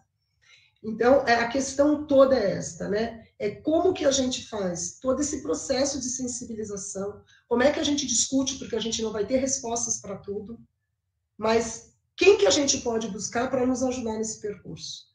Então, o nosso trabalho tem sido feito nesse sentido, em buscar as parcerias, em trazer e ajudar o professor lá na ponta, para que o trabalho dele flua de uma maneira mais tranquila, que ele não fique tão ansioso. É, a nossa realidade está numa, em bairros superpopulosos, então o que, que a gente tem? A gente tem salas de anos iniciais, às vezes, chegando a 34, 35 alunos, então você imagina a angústia do professor né, em ter uma sala cheia e ele precisa fazer o seu trabalho de inclusão, dar atendimento que o nosso aluno precisa ali, Anos finais, a gente tem salas que chega a 38, 39, ensino médio 42, 43. Então, são estas coisas que a gente diz que ainda é um desafio, né? Dentre tantas outras, um dos grandes desafios é diminuir o número da sala de aula aonde a gente tem criança com inclusão, para que este professor consiga dar atenção e fazer o trabalho ideal para que o nosso aluno aprenda. Obrigado, Eunice. Bom, tem vários comentários aqui, tem várias perguntas, a gente está fazendo aqui um esforço para sistematizá-las, mas eu vou fazer já alguns comentários e engatar uh, um questionamento aqui para a Eunice. Por exemplo, a professora Ana Lúcia fala que a legislação é adequada, mas se, é, na realidade, a inclusão não é só colocar a pessoa com deficiência em sala de aula, inclusão é mesmo difícil de acontecer a Fátima, que faz um comentário que na minha escola não tem projeto político-pedagógico, quanto mais um projeto político-pedagógico inclusivo. Gustavo, parabéns, Eunice, você é um exemplo de transformação em competência, faz milagres com tão poucos recursos. É, o Roger aqui fala que a, a rede protetiva tem que atuar em conjunto e de forma efetiva para que a atuação dos profissionais nas escolas seja mais tranquila podendo ter mais resultados. Nesse caso, eu aproveito essa oportunidade da questão aqui do, do Roger para pedir um comentário seu, professor Eunice, a respeito dessa articulação. Olha, eu já fui secretário de Educação do município de São Paulo, fui secretário de Educação de Taboão da Serra, então a gente sabe muito bem né, como essa, o sistema de justiça que envolve o Ministério Público, né, o juizado especializado em criança e adolescente, como é que esses, esses, esses profissionais né, do sistema de justiça, como eles agem, assim como outras instituições do sistema protetivo das crianças. Frequentemente mandam, mandam matricular, mandam atender, e, e frequentemente essas instituições eh, não dominam as informações práticas e concretas daquilo que acontece na escola. Porque mandar incluir, mandar atender, sem ter noção das condições ou falta de condições que as escolas têm, é empurrar né, uma criança, um adolescente em uma situação de vulnerabilidade maior até dentro da escola. Então, o comentário que a gente pede, né, associado a esses comentários que eu li, é que você nos diga alguma palavra a respeito de como fazer essa articulação. Como, na realidade, fazer um, um ajuste de conduta de todas as partes. Porque ajuste de conduta não pode ser só da escola, da diretoria de ensino, da Secretaria da Educação, mas tem que ter um ajuste de conduta também com o Poder Judiciário, com o Ministério Público, que, que devem dominar e articular conjuntamente uma série de ações que possam levar à efetividade do atendimento educacional especializado. Se puder comentar, então, Eunice, por favor. É, realmente, César, é, uma, é um grande desafio, né? Nós é, fizemos algumas ações nessa direção. Nós temos uma parceria muito grande ali com o, pessoal do Ministério Público. Nós é, fizemos alguns fóruns locais, até para que eles possam escutar o pessoal da escola. A última ação que nós tivemos, nós tivemos representantes do Ministério Público participando de uma reunião com supervisores de ensino, para que eles escutassem também quais são as dificuldades que nós temos enquanto Secretaria da Educação, as dificuldades que nós temos enquanto escola, para que ele pudesse entender essa questão do fluxo, porque realmente, a hora que eles queimam etapa, isso dificulta bastante, e foi a partir daí, de quando eles também nos dizem o que, que eles precisam, né? Porque às vezes a impressão que dá é assim: nossa, mas agora está chovendo judicialização. Por um outro lado, a gente tem que ver que isso também é uma coisa boa. Os pais estão sabendo o caminho, estão procurando, né? Às vezes ele não conseguiu ser atendido naquele lugar que ele foi e ele vai procurar ajuda em outro local. Mas a gente tem conseguido fazer esta esta conversa, mostrar para eles quais são os limites, quais são os prazos que a gente tem, porque se ele também te dá um prazo muito curto, a gente não consegue fazer com que essa criança é, seja avaliada e tenha um diagnóstico apropriado para a gente poder saber a intervenção que nós vamos fazer. Então, nós temos conseguido aí uma dilação de prazos, é, algumas coisas, como eles já entendem, eles já explicam diretamente para os pais, então, às vezes, é, coisas que viriam para a gente já não vêm, mas o número ainda de mandado de segurança para que a gente atenda, principalmente é, alguns pais, eles pedem que eles querem as crianças em escola especializadas. É, tem pai que vai lá pedindo porque ele não quer o filho numa escola regular. E aí a gente explica para o pai. Nós temos lá a nossa equipe de educação especial, formada por duas supervisoras de ensino, que é a supervisora Fátima, a supervisora Isabel, dois professores especialistas em currículo, que é a professora Carmen Palmeira e o professor Oswaldo. Eles fazem muitos atendimentos na diretoria de ensino. E isso tem ajudado a calma. O pai entende qual é o objetivo da sala regular, porque às vezes, é, é, vamos dizer, até com uma forma de preconceito está na cabeça do pai. O pai já antecipa que o filho dele vai ser é, excluído, que vai acontecer alguma coisa. Então, quando a gente explica para o pai como é o percurso formativo, como é que a gente faz para fazer essa, esse plano individual do aluno, e o benefício dele estar na sala de recurso, é, o pai acaba é, aceitando a matrícula na sala regular e a gente às vezes evita a judicialização. Né?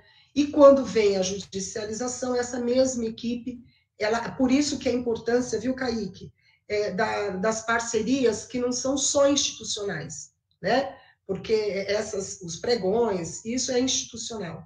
Mas quando a gente procura né, a, a saúde, porque ela não é da educação, mas a gente diz, olha, os nossos alunos, quando for encaminhamento, tem como ser um pouco mais célere, e a gente e eles explicam para a gente qual é o fluxo e a gente explica para a escola, nós ganhamos tempo aí nesse diagnóstico. E o aluno diagnosticado com mais antecedência, a tendência dele aprender e, e a gente focar num plano individual mais adequado, ele é maior.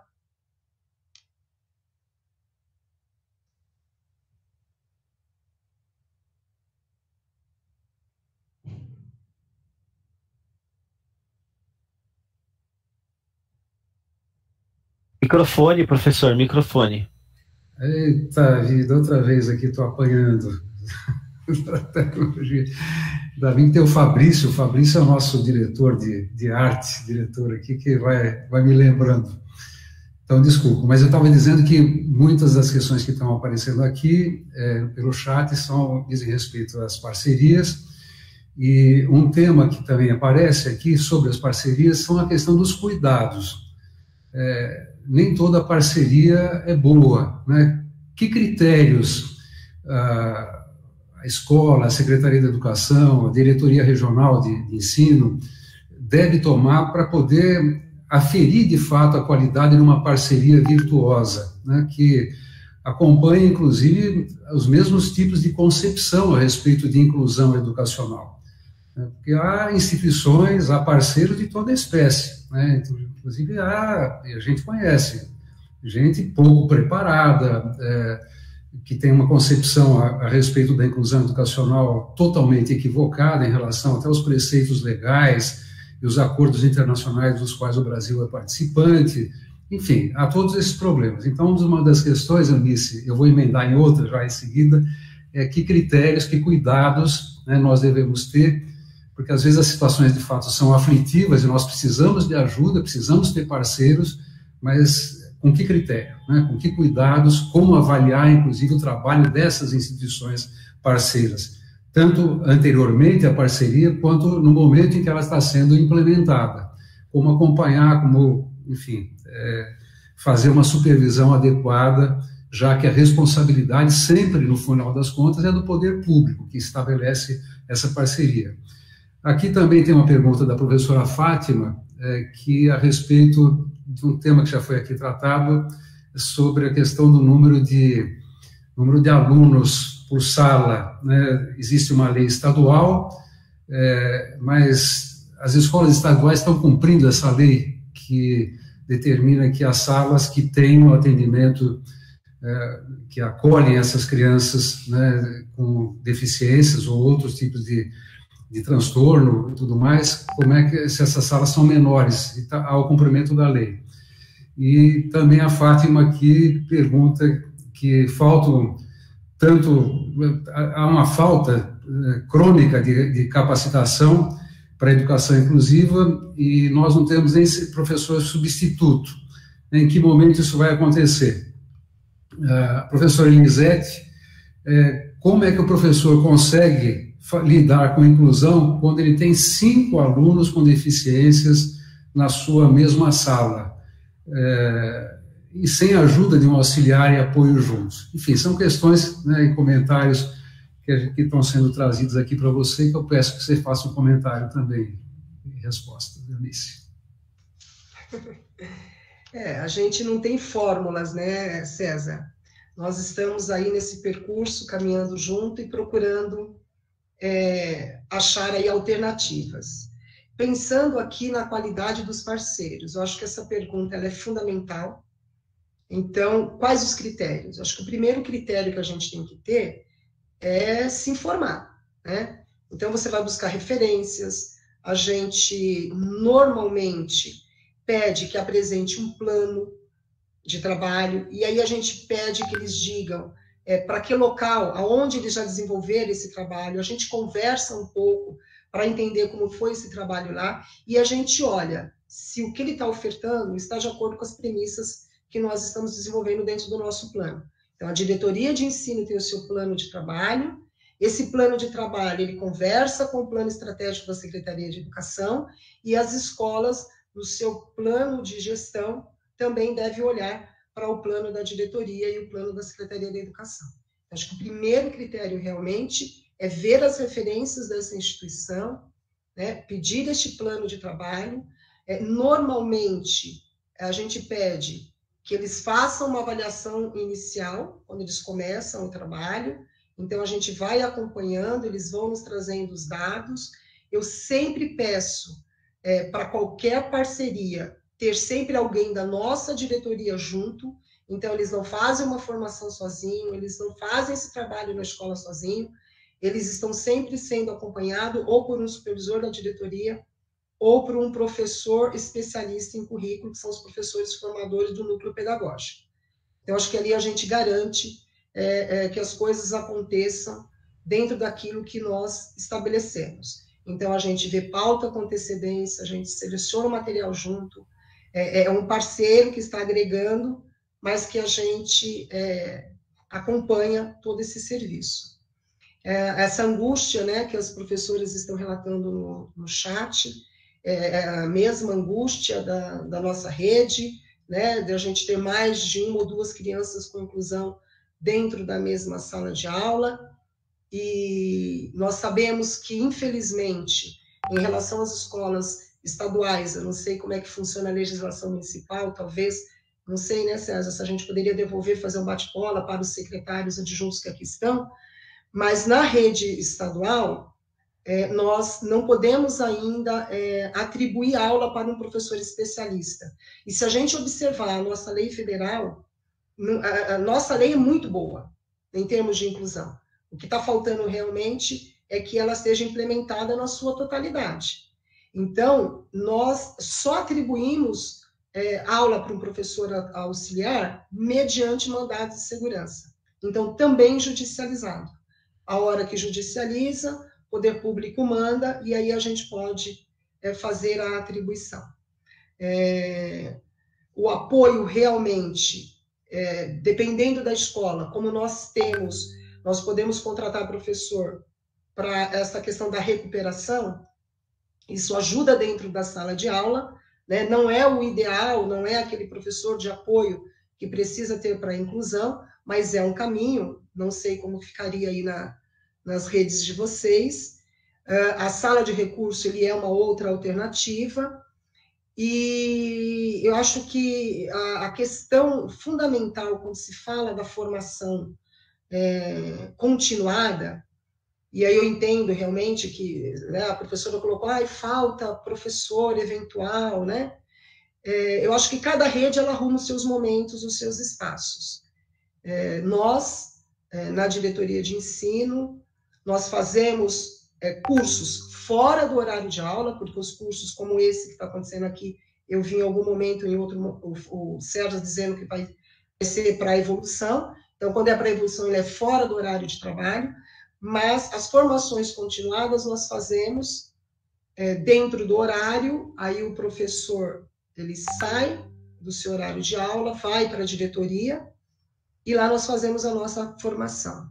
Né? Normalmente a gente pede para deixar um eventual, quando não tem o eventual, nós temos uma legislação que permite que o, o professor coordenador entre em sala de aula, o vice-diretor entre em sala de aula, mas nós não podemos perder de vista a formação continuada, né? E se a gente observar é, nessa pers perspectiva, tem uma orientação da Unesco de 2009, 2018, que propõe a definição de três abordagens específicas, que é a aquisição do conhecimento, aprofundamento do conhecimento e criação do conhecimento.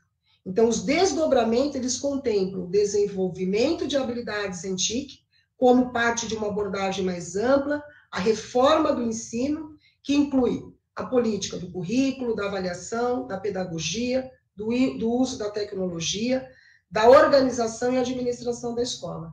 A nossa Secretaria da Educação, ela tem feito vários cursos, promovido vários cursos à distância, nesse sentido da formação e da capacitação, mas é, é, por mais que a gente tenha essas dificuldades, que eu sei que, que é isso mesmo que está sendo colocado no chat, nós, enquanto representantes do poder público, temos que garantir a formação continuada dos nossos professores.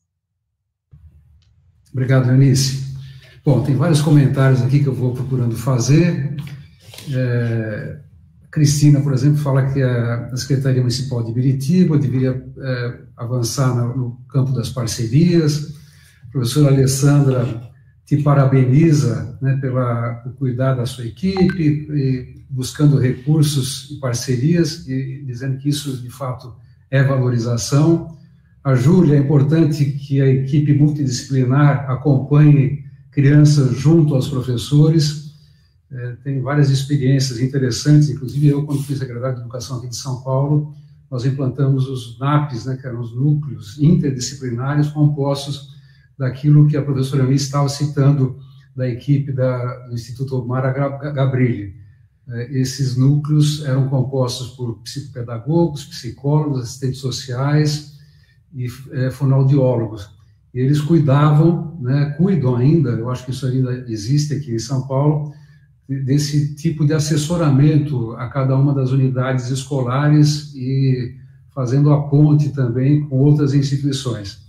A Ana Maria, nada como ter uma diretora engajada, está aqui te, te elogiando também, é, e que falta são pessoas capacitadas para fazer isso para todo, em todos os lugares e tal.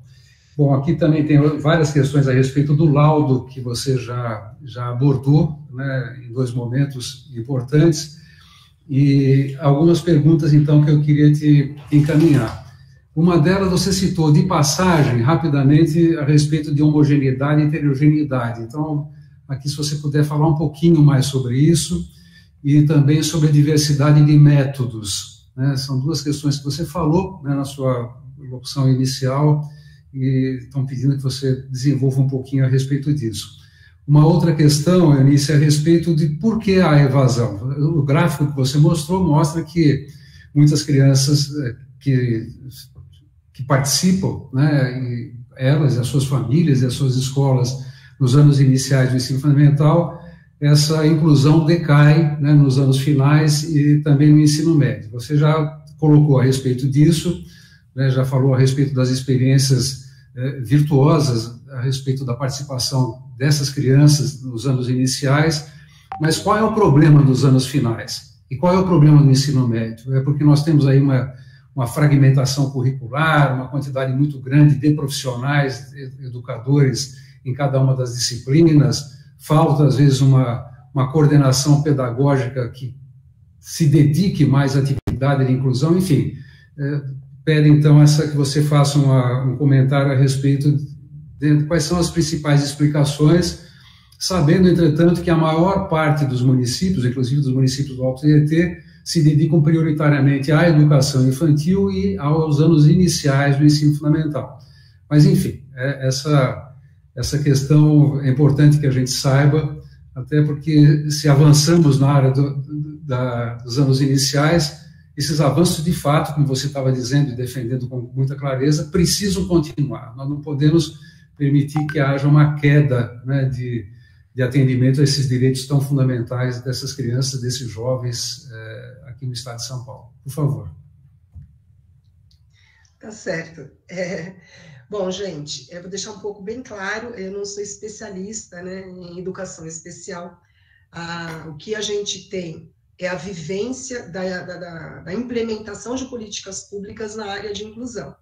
Então, é, eu não vou querer ter essa pretensão de definir o porquê que as crianças estão evadindo. A gente tem aqui uma análise é, ainda é, inicial é, de, algum, de algumas conversas com as escolas é, do porquê que seria este motivo de que a gente tem um número muito grande de alunos que estão sendo matriculados nas escolas de anos iniciais, mas a gente tem perdido eles no decorrer é, da, da, dos segmentos.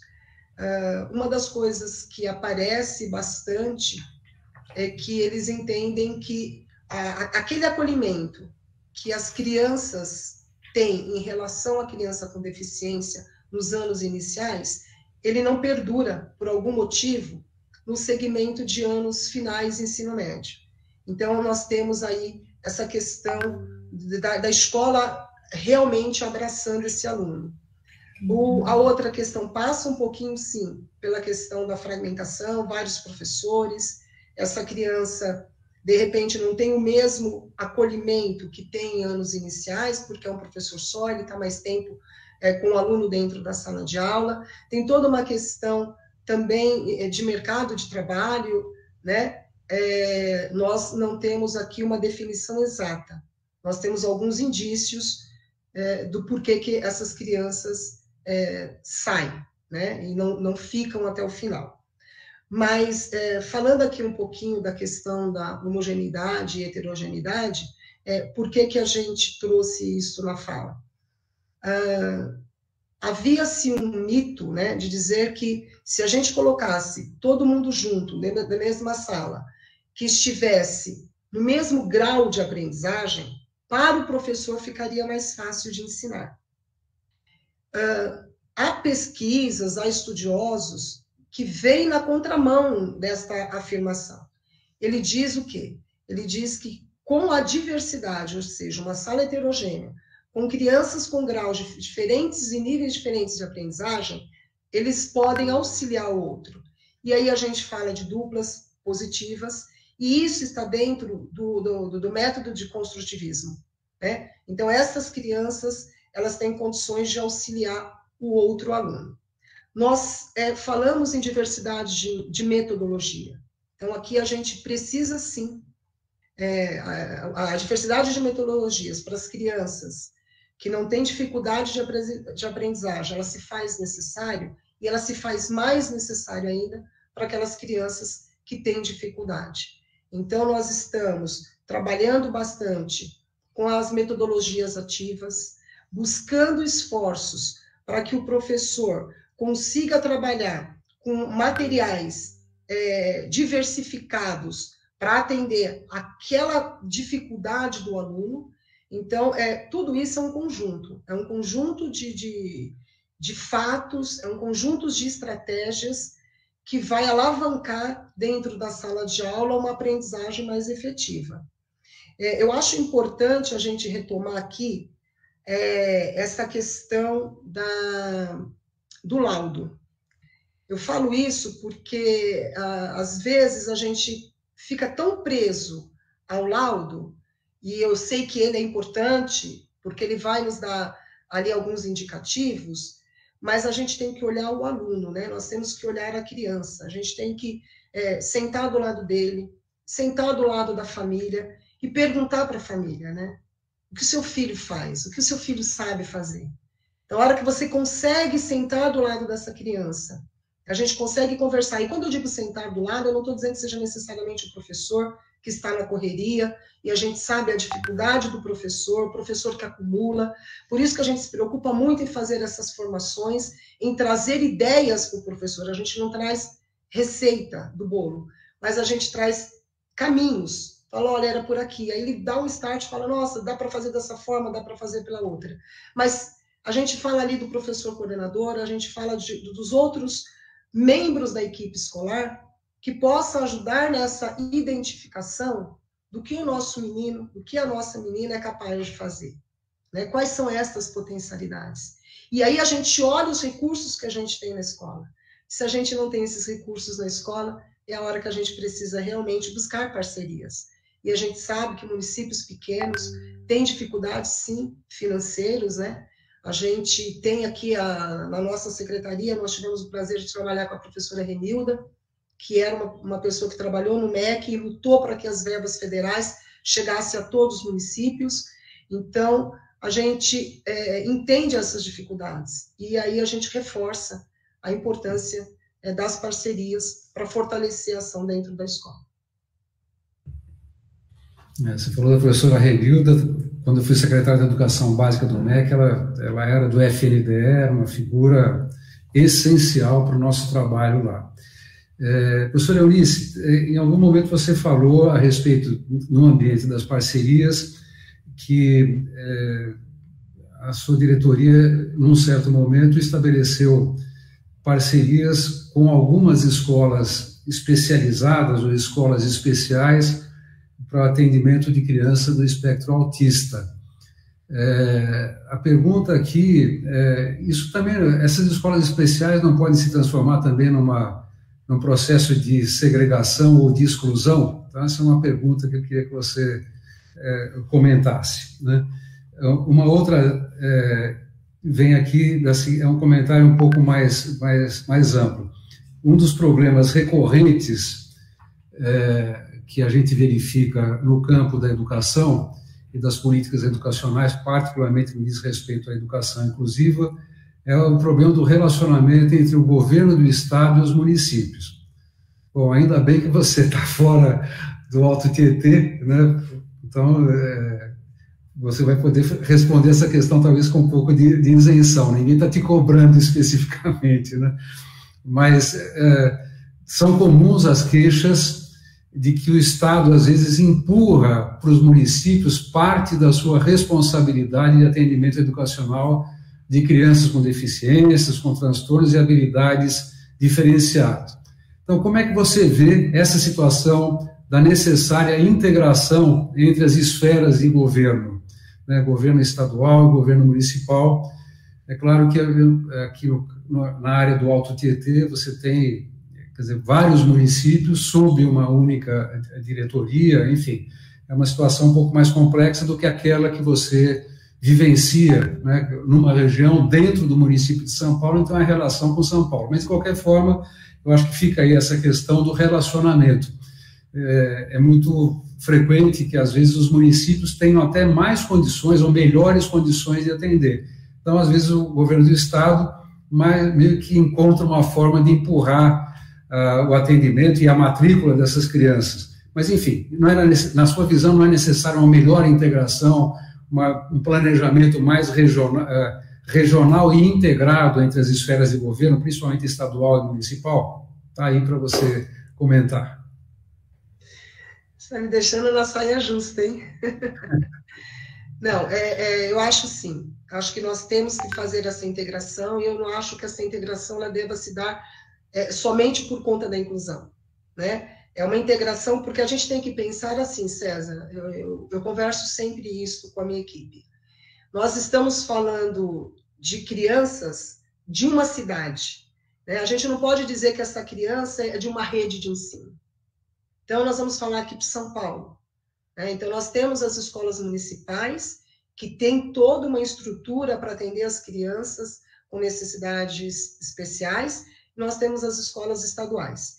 Então, é, essa criança que está nos anos iniciais numa escola da prefeitura, em algum momento ela estará nas escolas estaduais. Então, se a gente tem essa integração, e acho que a gente já caminhou bastante, é, principalmente com a questão da matrícula, né? Então, nós temos todo um, um, um trabalho conjunto, um, um trabalho integrado para garantir a matrícula dessas crianças, desses jovens, então, nós sentamos com a prefeitura, a gente conversa, a gente tem uma ideia do que está acontecendo ali, mas eu acho que é, é papel fundamental, né, né da, do governo, das instituições, que elas sejam integradas, porque o maior beneficiado é quem está lá na ponta. E quem está lá na ponta, na hora que ele precisa de alguma coisa, ele não tem que saber se isso pertence à prefeitura, se esse órgão pertence ao Estado ou se esse órgão é federal. Né? O cidadão ele vai querer ser atendido. É, então, acho que essa integração ela precisa acontecer. E como eu disse na minha fala anterior, quando eu cito os recursos federais, e eu lembro que a professora Renilda, em algum momento, contou para a gente quando ela chegou no MEC, ela ficou, na FNDE, ela ficou abismada de ver como tinha tantos recursos para serem mandados para os estados, para os municípios, e que não eram utilizados. Por quê? Porque faltava que as pessoas entendessem como é que elabora um planejamento, como é que monta um plano para receber o dinheiro. E aí eles fizeram o quê? Uma formação, uma capacitação, e esse recurso chegou. Então, se o município é pequeno e ele não tem condições, ele tem que fazer essa parceria. E a Secretaria Estadual de Educação, ainda mais na, na última gestão do, do, secretário Rocieli Soares, a gente viu, embora eu não seja do interior, né, estou na capital, mas a gente viu aí é, como cresceu essa parceria, né? essa parceria da Undime, nós é, percebemos em várias reuniões os secretários de educação né, é, da, da, prefeitura muito junto com as diretorias de ensino estaduais. Né? Nós tivemos aí a criação do PAINSP, que é para que as escolas do município, através desse, de, dessa parceria, recebam os recursos. Nós tivemos, através da Secretaria Estadual de Educação, é, a parceria dos materiais para anos iniciais, então, todo o material didático para, para os municípios que aderiram à parceria com a Secretaria Estadual de Educação é, foi proporcionado. Então, a questão de ônibus, a gente vê que é, é quando há essa integração, todo mundo tende a ganhar. E quem ganha mais, na realidade, são os nossos alunos. Não sei se eu contemplei é, todas as perguntas que você fez.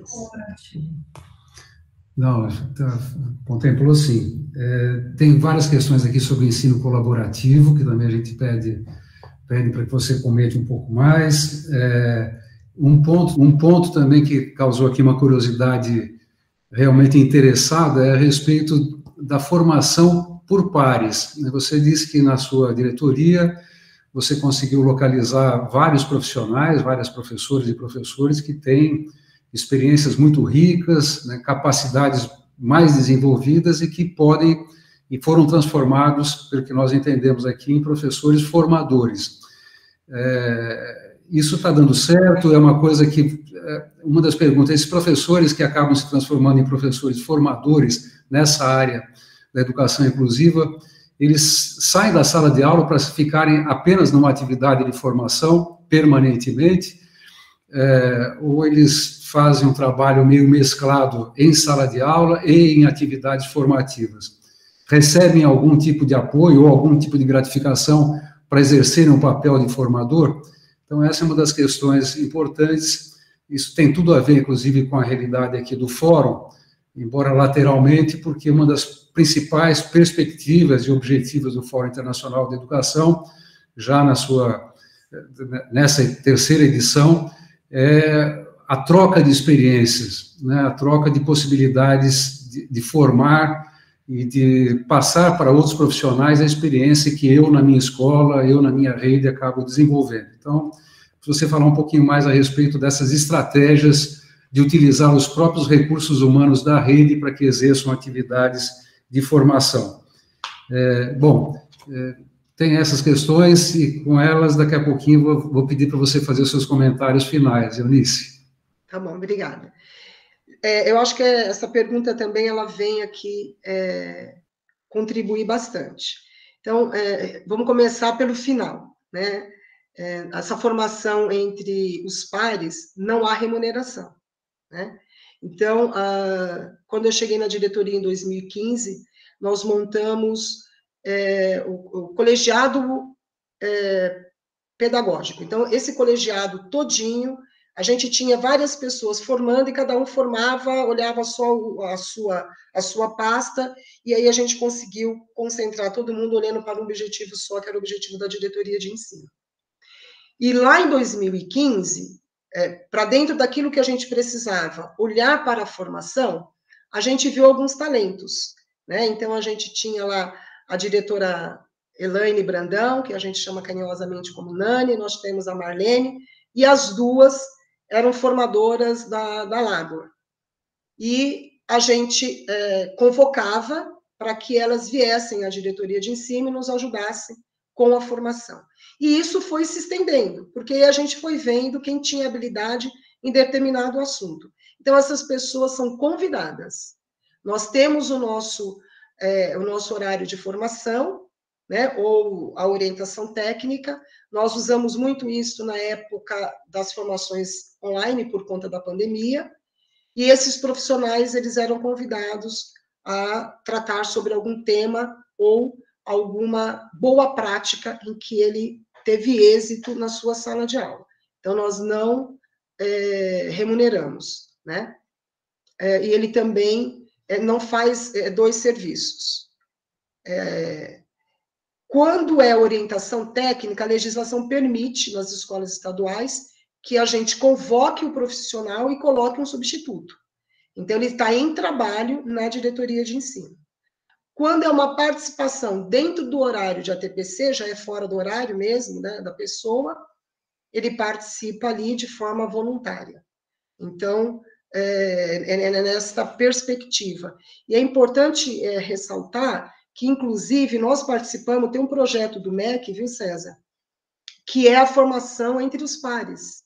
Né? Eles fizeram um piloto na Secretaria de Educação com os diretores de escola, então, tinham critérios para a gente identificar, indicar esses diretores que tinham boas práticas, que tiveram bons resultados no IDEB, e esses diretores eram tutores dos diretores que estavam começando. Então, é, em São Paulo, foram três diretorias indicadas, a minha diretoria foi uma delas. Nós tivemos a diretora Márcia e a diretora Roberta. A Márcia, inclusive, esteve em Brasília, apresentando a boa prática. Então, nós estamos vendo que está crescendo né, essa, essa questão de formação entre os pares. E é bom, por outro lado, por quê? Porque a pessoa está na sala de aula, é melhor para ela. Ela está entendendo as necessidades, ela sabe as dificuldades. Então, se alguém questionar, ah, mas e isso? Ela passou por aquilo, então ela pode dar o exemplo dela. Eu acho que isso aí é, facilita bastante. É, na, na questão anterior, acho que eu pulei a questão que você falou sobre as escolas que são credenciadas junto à Secretaria da Educação e recebem alunos exclusivos de transtornos é, de espectro autista. É, não é uma segregação, viu, César? Porque é, estas salas são as salas em que recebem as crianças com necessidades de maior grau de comprometimento. Então, eles têm é, um trabalho específico tá? É, é, nessa questão aí. E em relação ao ensino colaborativo, é uma legislação nova, né, por conta, inclusive, é, do ano eleitoral. Nós não pudemos ainda é, contratar ninguém, não foi para o processo ainda de atribuição. A gente entende que para o ano que vem, né, a, a gente vai conseguir implementar, que é juntamente com o professor da sala regular, você vai ter esses dois profissionais mais próximo do aluno. Eu não sei é, em que medida que os municípios estão adequados a esta situação, se vão se adequar ou não, mas as salas de recursos é, continuam. Obrigado. Olha, tem muitas outras questões aqui, mas você, nas suas respostas, é, muito muito lúcidas, muito brilhantes e tal, já foi já foi abordando esses temas todos. Né? A gente pede desculpas aí para as professoras, professores e outros educadores que estão nos acompanhando, se nós não pudermos citar o nome de todos que fizeram comentários, perguntas e, e boas provocações aqui para o nosso debate. Professor Eunice, provocações, hein? É, não, tá, você foi muito bem, viu? Quero dizer que colocou temas da maior relevância na perspectiva de uma pessoa que tem é, forte vínculo com o chão da escola, né, exerceu toda a sua atividade como professora em sala de aula, diretora de escola, supervisora de ensino e agora é, nessa nesse enorme desafio de ser dirigente, né, coordenando equipes muito diversas e situações bastante, é, enfim, bastante desafiadoras. Então nós queremos te agradecer muitíssimo né? Eu que agradeço que... a oportunidade. É, César, eu também queria agradecer a minha equipe, que me ajudou, inclusive, a montar o PPT. Você vê que eles são os fofos, né? A Carmen Palmeira, que deve estar nos acompanhando, ao PCNP Alfonso e Oswaldo.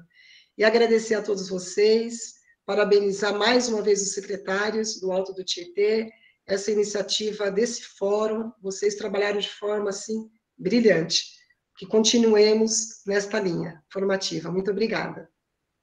Obrigado, Vianice. Eu acho que posso falar até em nome dos colegas secretários, que vai ser um grande prazer te receber, né, para que você conheça mais de perto. E aproveito também para colocar para você, para sua equipe, para todos que estão nos acompanhando, que uma das obras deste Fórum Internacional de Educação é o portal. Né? Nós temos um portal, é muito mais do que um site, é um portal mesmo, onde além de várias informações sobre o fórum e várias maneiras das pessoas participarem, maneira inclusive de entrar no sistema AVA, que é o ambiente virtual de aprendizagem, onde podem e devem encaminhar os seus relatórios de participação, os professores que assim entenderem, mas há uma riqueza muito grande nesse portal, que são as experiências. E é por isso que o fórum encerra uma fase dele agora, né, a fase das palestras, dos debates, né, que mesmo acontecendo de uma maneira virtual, têm sido tão ricos para propiciar a reflexão por parte dos professores, né, o encaminhamento de ideias a respeito de políticas e programas educacionais junto a essa temática que nós tratamos nesse terceiro fórum. Então, a gente te convida para conhecer presencialmente uh, uh, os municípios e as realidades muito Será ricas. Um prazer. Será um prazer. Né, desses 12 municípios que também são muito diversificados pelo seu tamanho, pela sua complexidade, pela sua natureza, mas são, é, até pela iniciativa do Fórum, são da maior é, relevância para o Estado de São Paulo e até para o Brasil. Bem, é, nesse, então, me despedindo de você, Eunice, né, eu quero fazer aqui um, um rápido fechamento né, desse terceiro Fórum Internacional de Educação dos municípios do Alto Tietê, e lembrando que, primeiro, quero fazer alguns agradecimentos, né, a você, já agradeci, quero é, agradecer aos secretários municipais de educação desses 12 municípios, e em nome dele, o coordenador da Câmara Técnica de Educação do Condemate, que é o professor Leandro Bassini. Então, parabéns a vocês, porque o fórum é uma iniciativa e uma realização desses 12 municípios, né, que vão tomando todas as decisões, todas as escolhas, todos os encaminhamentos, e esse trabalho colaborativo, ele tem já resultado em bons avanços aí para a região. Então, parabéns aos secretários, é, por, essa, por esse trabalho tão notável e tão exemplar para o Estado de São Paulo e para o Brasil. Eu quero também aqui aproveitar para agradecer as instituições apoiadoras, que fazem um apoio institucional, que é o caso da Unesco, a Undime de São Paulo, a Fundação Itaú Social, o Instituto Rodrigo Mendes e a Fundação Santilhana. Então, muito obrigado pelo apoio, principalmente né, pelo apoio em divulgar não apenas as sessões do fórum, mas as experiências que têm sido realizadas e continuarão a ser postadas no portal do fórum ao longo de todo, todo o período. Então, esse trabalho colaborativo, ele aqui na, na região, ele talvez seja o maior dos patrimônios. Eu quero agradecer, além de você, todos os palestrantes que, né, que iluminaram o nosso trabalho, a nossa reflexão. E, em especial, agradecer, vocês estão vendo agora, né, várias imagens aqui de colegas professores, diretores de escola, coordenadores de ensino, é, de toda a região, né, que pela internet, pelos seus computadores, têm acompanhado essas cinco sessões do Fórum Internacional do Alto Tietê. É, então, é, é para vocês que esse trabalho se realiza. Né? É um trabalho formativo, é um trabalho de reflexão, né? é um trabalho de colaboração e de fortalecimento da região. É, um dos pontos importantes que eu gostaria aqui de chamar a atenção para agradecimento é a notável equipe técnica, né, que proporcionou todo esse trabalho de, enfim, de fazer com que essa a internet funcionasse, né, os ensaios técnicos pudessem ser feitos com muita competência, que é a equipe de Mogi das Cruzes. Então, essa equipe que é formada pelo Fabrício, pelo Jefferson, pelo Luiz Henrique, e que é integrada também por um integrante notável que todos vocês já conhecem, da nossa equipe aqui do Instituto Brasileiro de Sociologia Aplicada, que é o Alan, Alan Rogério dos Santos, o Alan Mike, né, que tem acompanhado e frequentemente coordenado muito desses trabalhos da reunião do comitê e sendo uma pessoa muito solista e continuará sendo solista e muito eficiente em todo esse trabalho que daqui para frente vai ainda acontecer. Nós vamos fazer todo o trabalho de emissão de certificados, construção dos relatórios, divulgação dos relatórios, é, de tudo que aconteceu no Fórum Internacional de Educação. É, eu quero, o Alan foi acho que o último que apareceu, eu quero nesse instante render uma homenagem muito especial e chamar para a sua participação aqueles integrantes do comitê de organização do fórum. Olha, foram até agora 17 sessões de trabalho, muitas coisas fora da sessão de trabalho, muitas indicações, enfim, muito trabalho feito além dessas, dessas reuniões que aconteceram semanalmente. São 17 episódios. Eu chamo então para que possam fazer rápidos pronunciamentos os integrantes do comitê de organização do fórum. Por favor. Olá. Gostaria de agradecer em nome da Secretaria Municipal de Educação, em especial do Núcleo Pedagógico e de todos os profissionais da educação, pela iniciativa do Condemate dos municípios do Alto Tietê, pela realização deste evento maravilhoso. Para nós, foi uma honra ter participado mais uma vez de uma edição do Fórum Internacional de Educação. Muito obrigada, até o ano que vem. Olá, profissionais do Alto Tietê. Hoje concluímos com muito orgulho o terceiro Fórum Internacional. Reflexões importantíssimas ao longo de cinco semanas que fortaleceram as nossas ações sobre inclusão e equidade. Um abraço a todos e até o próximo fórum. Olá, estamos finalizando mais um fórum de educação do Alto Tietê e quero agradecer muito a presença de todos dizer que foi muito importante esse momento, todas essas trocas que tivemos ao longo do processo de formação. Espero que todas essas contribuições tenham um grande impacto na nossa educação e que no próximo possamos novamente nos encontrar. Olá, quero parabenizar a todos, a equipe técnica e a todos os professores aqui do Alto Tietê, em especial para os professores aqui do município de Poá, pela participação e pelo belíssimo evento que foi é, feito aqui para todos nós. É uma grande alegria né, ter essa oportunidade e esperamos que em breve possamos nos encontrar novamente. Até breve. Nós de Itaquaquecetuba agradecemos a participação de todos nesse terceiro Fórum Internacional de Educação, que foi um tema muito rico: educação inclusiva e equidade. Eu sou a Clara, representando o município de Suzano. Queria agradecer a iniciativa do Condemate, realizando eventos como esse, trazendo temáticas tão importantes para serem discutidas, levando nós, professores, educadores, à reflexão, à troca de experiências e ao aprendizado. Esse foi o terceiro fórum, chegamos ao final e espero que muitos outros venham por aí. Obrigada. Olá, me chamo Mônica e represento a Secretaria de Educação da Estância Turística de Salesópolis. Tenho cabelos castanhos, médios, sou branca e estou usando blusa verde. Uso também óculos de grau com armação bege. Me encontro em uma das salas da Secretaria de Educação e atrás de mim uma parede branca. Em nome de todos os educadores da nossa rede, agradeço a oportunidade de participar do terceiro Fórum Internacional de Educação dos municípios do Alto Tietê, cujo tema Educação Inclusiva e Equidade permitiu validar a importância do respeito à individualidade e à diversidade. Promover o acesso à educação de qualidade é o nosso maior propósito. Obrigada.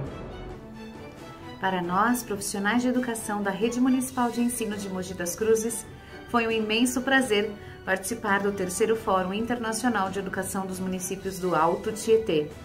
Cada uma das sessões trouxeram reflexões importantíssimas para que nós pudéssemos repensar as nossas práticas em busca de uma educação de qualidade para todos.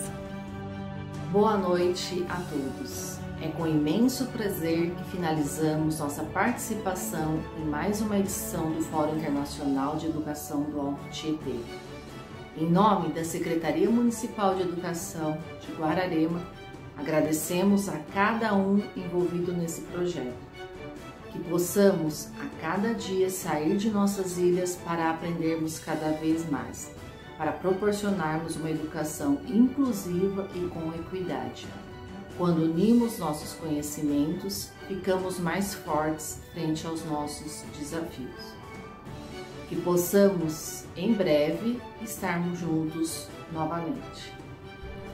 Neste terceiro fórum, tivemos a oportunidade de constatar mais uma vez que juntos somos capazes de construir coisas grandes e significativas para uma educação de qualidade dos nossos alunos e alunas.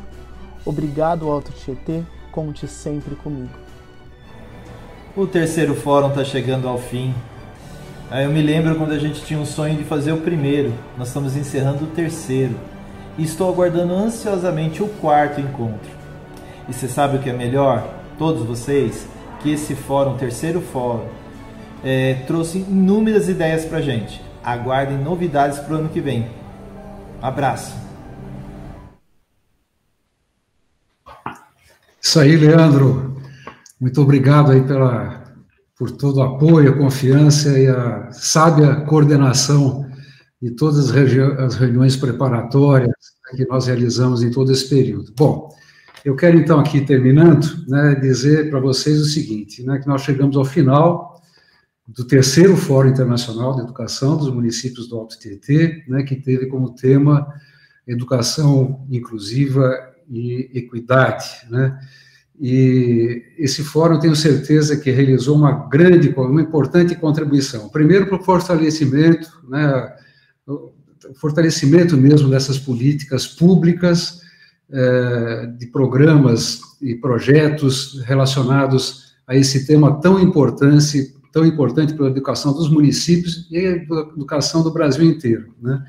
É, o Fórum Internacional, eu acho que ele dá uma contribuição importante né, para a valorização dos profissionais da educação, né, que diariamente exercem um trabalho absurdamente importante né, a respeito não apenas dos profissionais que atuam diretamente na atividade de inclusão, os especialistas, mas as professoras, professores e demais profissionais das escolas públicas desses municípios, que com sabedoria, generosidade, acolhem essas crianças e não apenas um acolhimento, é, mas tem um propósito educacional muito claro, dedicando a elas, dedicando a essas crianças e jovens o melhor das suas capacidades. Né?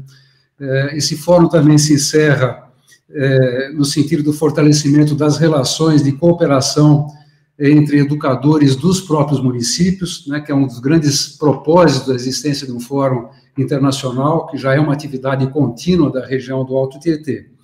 Bom, é, eu termino aqui, mais uma vez, agradecendo a participação de todos, mas lembrando que nós estamos encerrando essas atividades, né, com palestras e debates, cinco dias antes das eleições gerais do nosso país. Então, é um momento realmente importante. A gente espera que nesse processo eleitoral a gente fortaleça a democracia, né, e fortaleça bem aquilo que nós precisamos de fato preservar. Né? Nós não podemos imaginar uma democracia sem inclusão, uma democracia sem que seja uma inclusão de todos, uma escola particularmente de todos e para cada um de acordo com as suas necessidades e as suas possibilidades.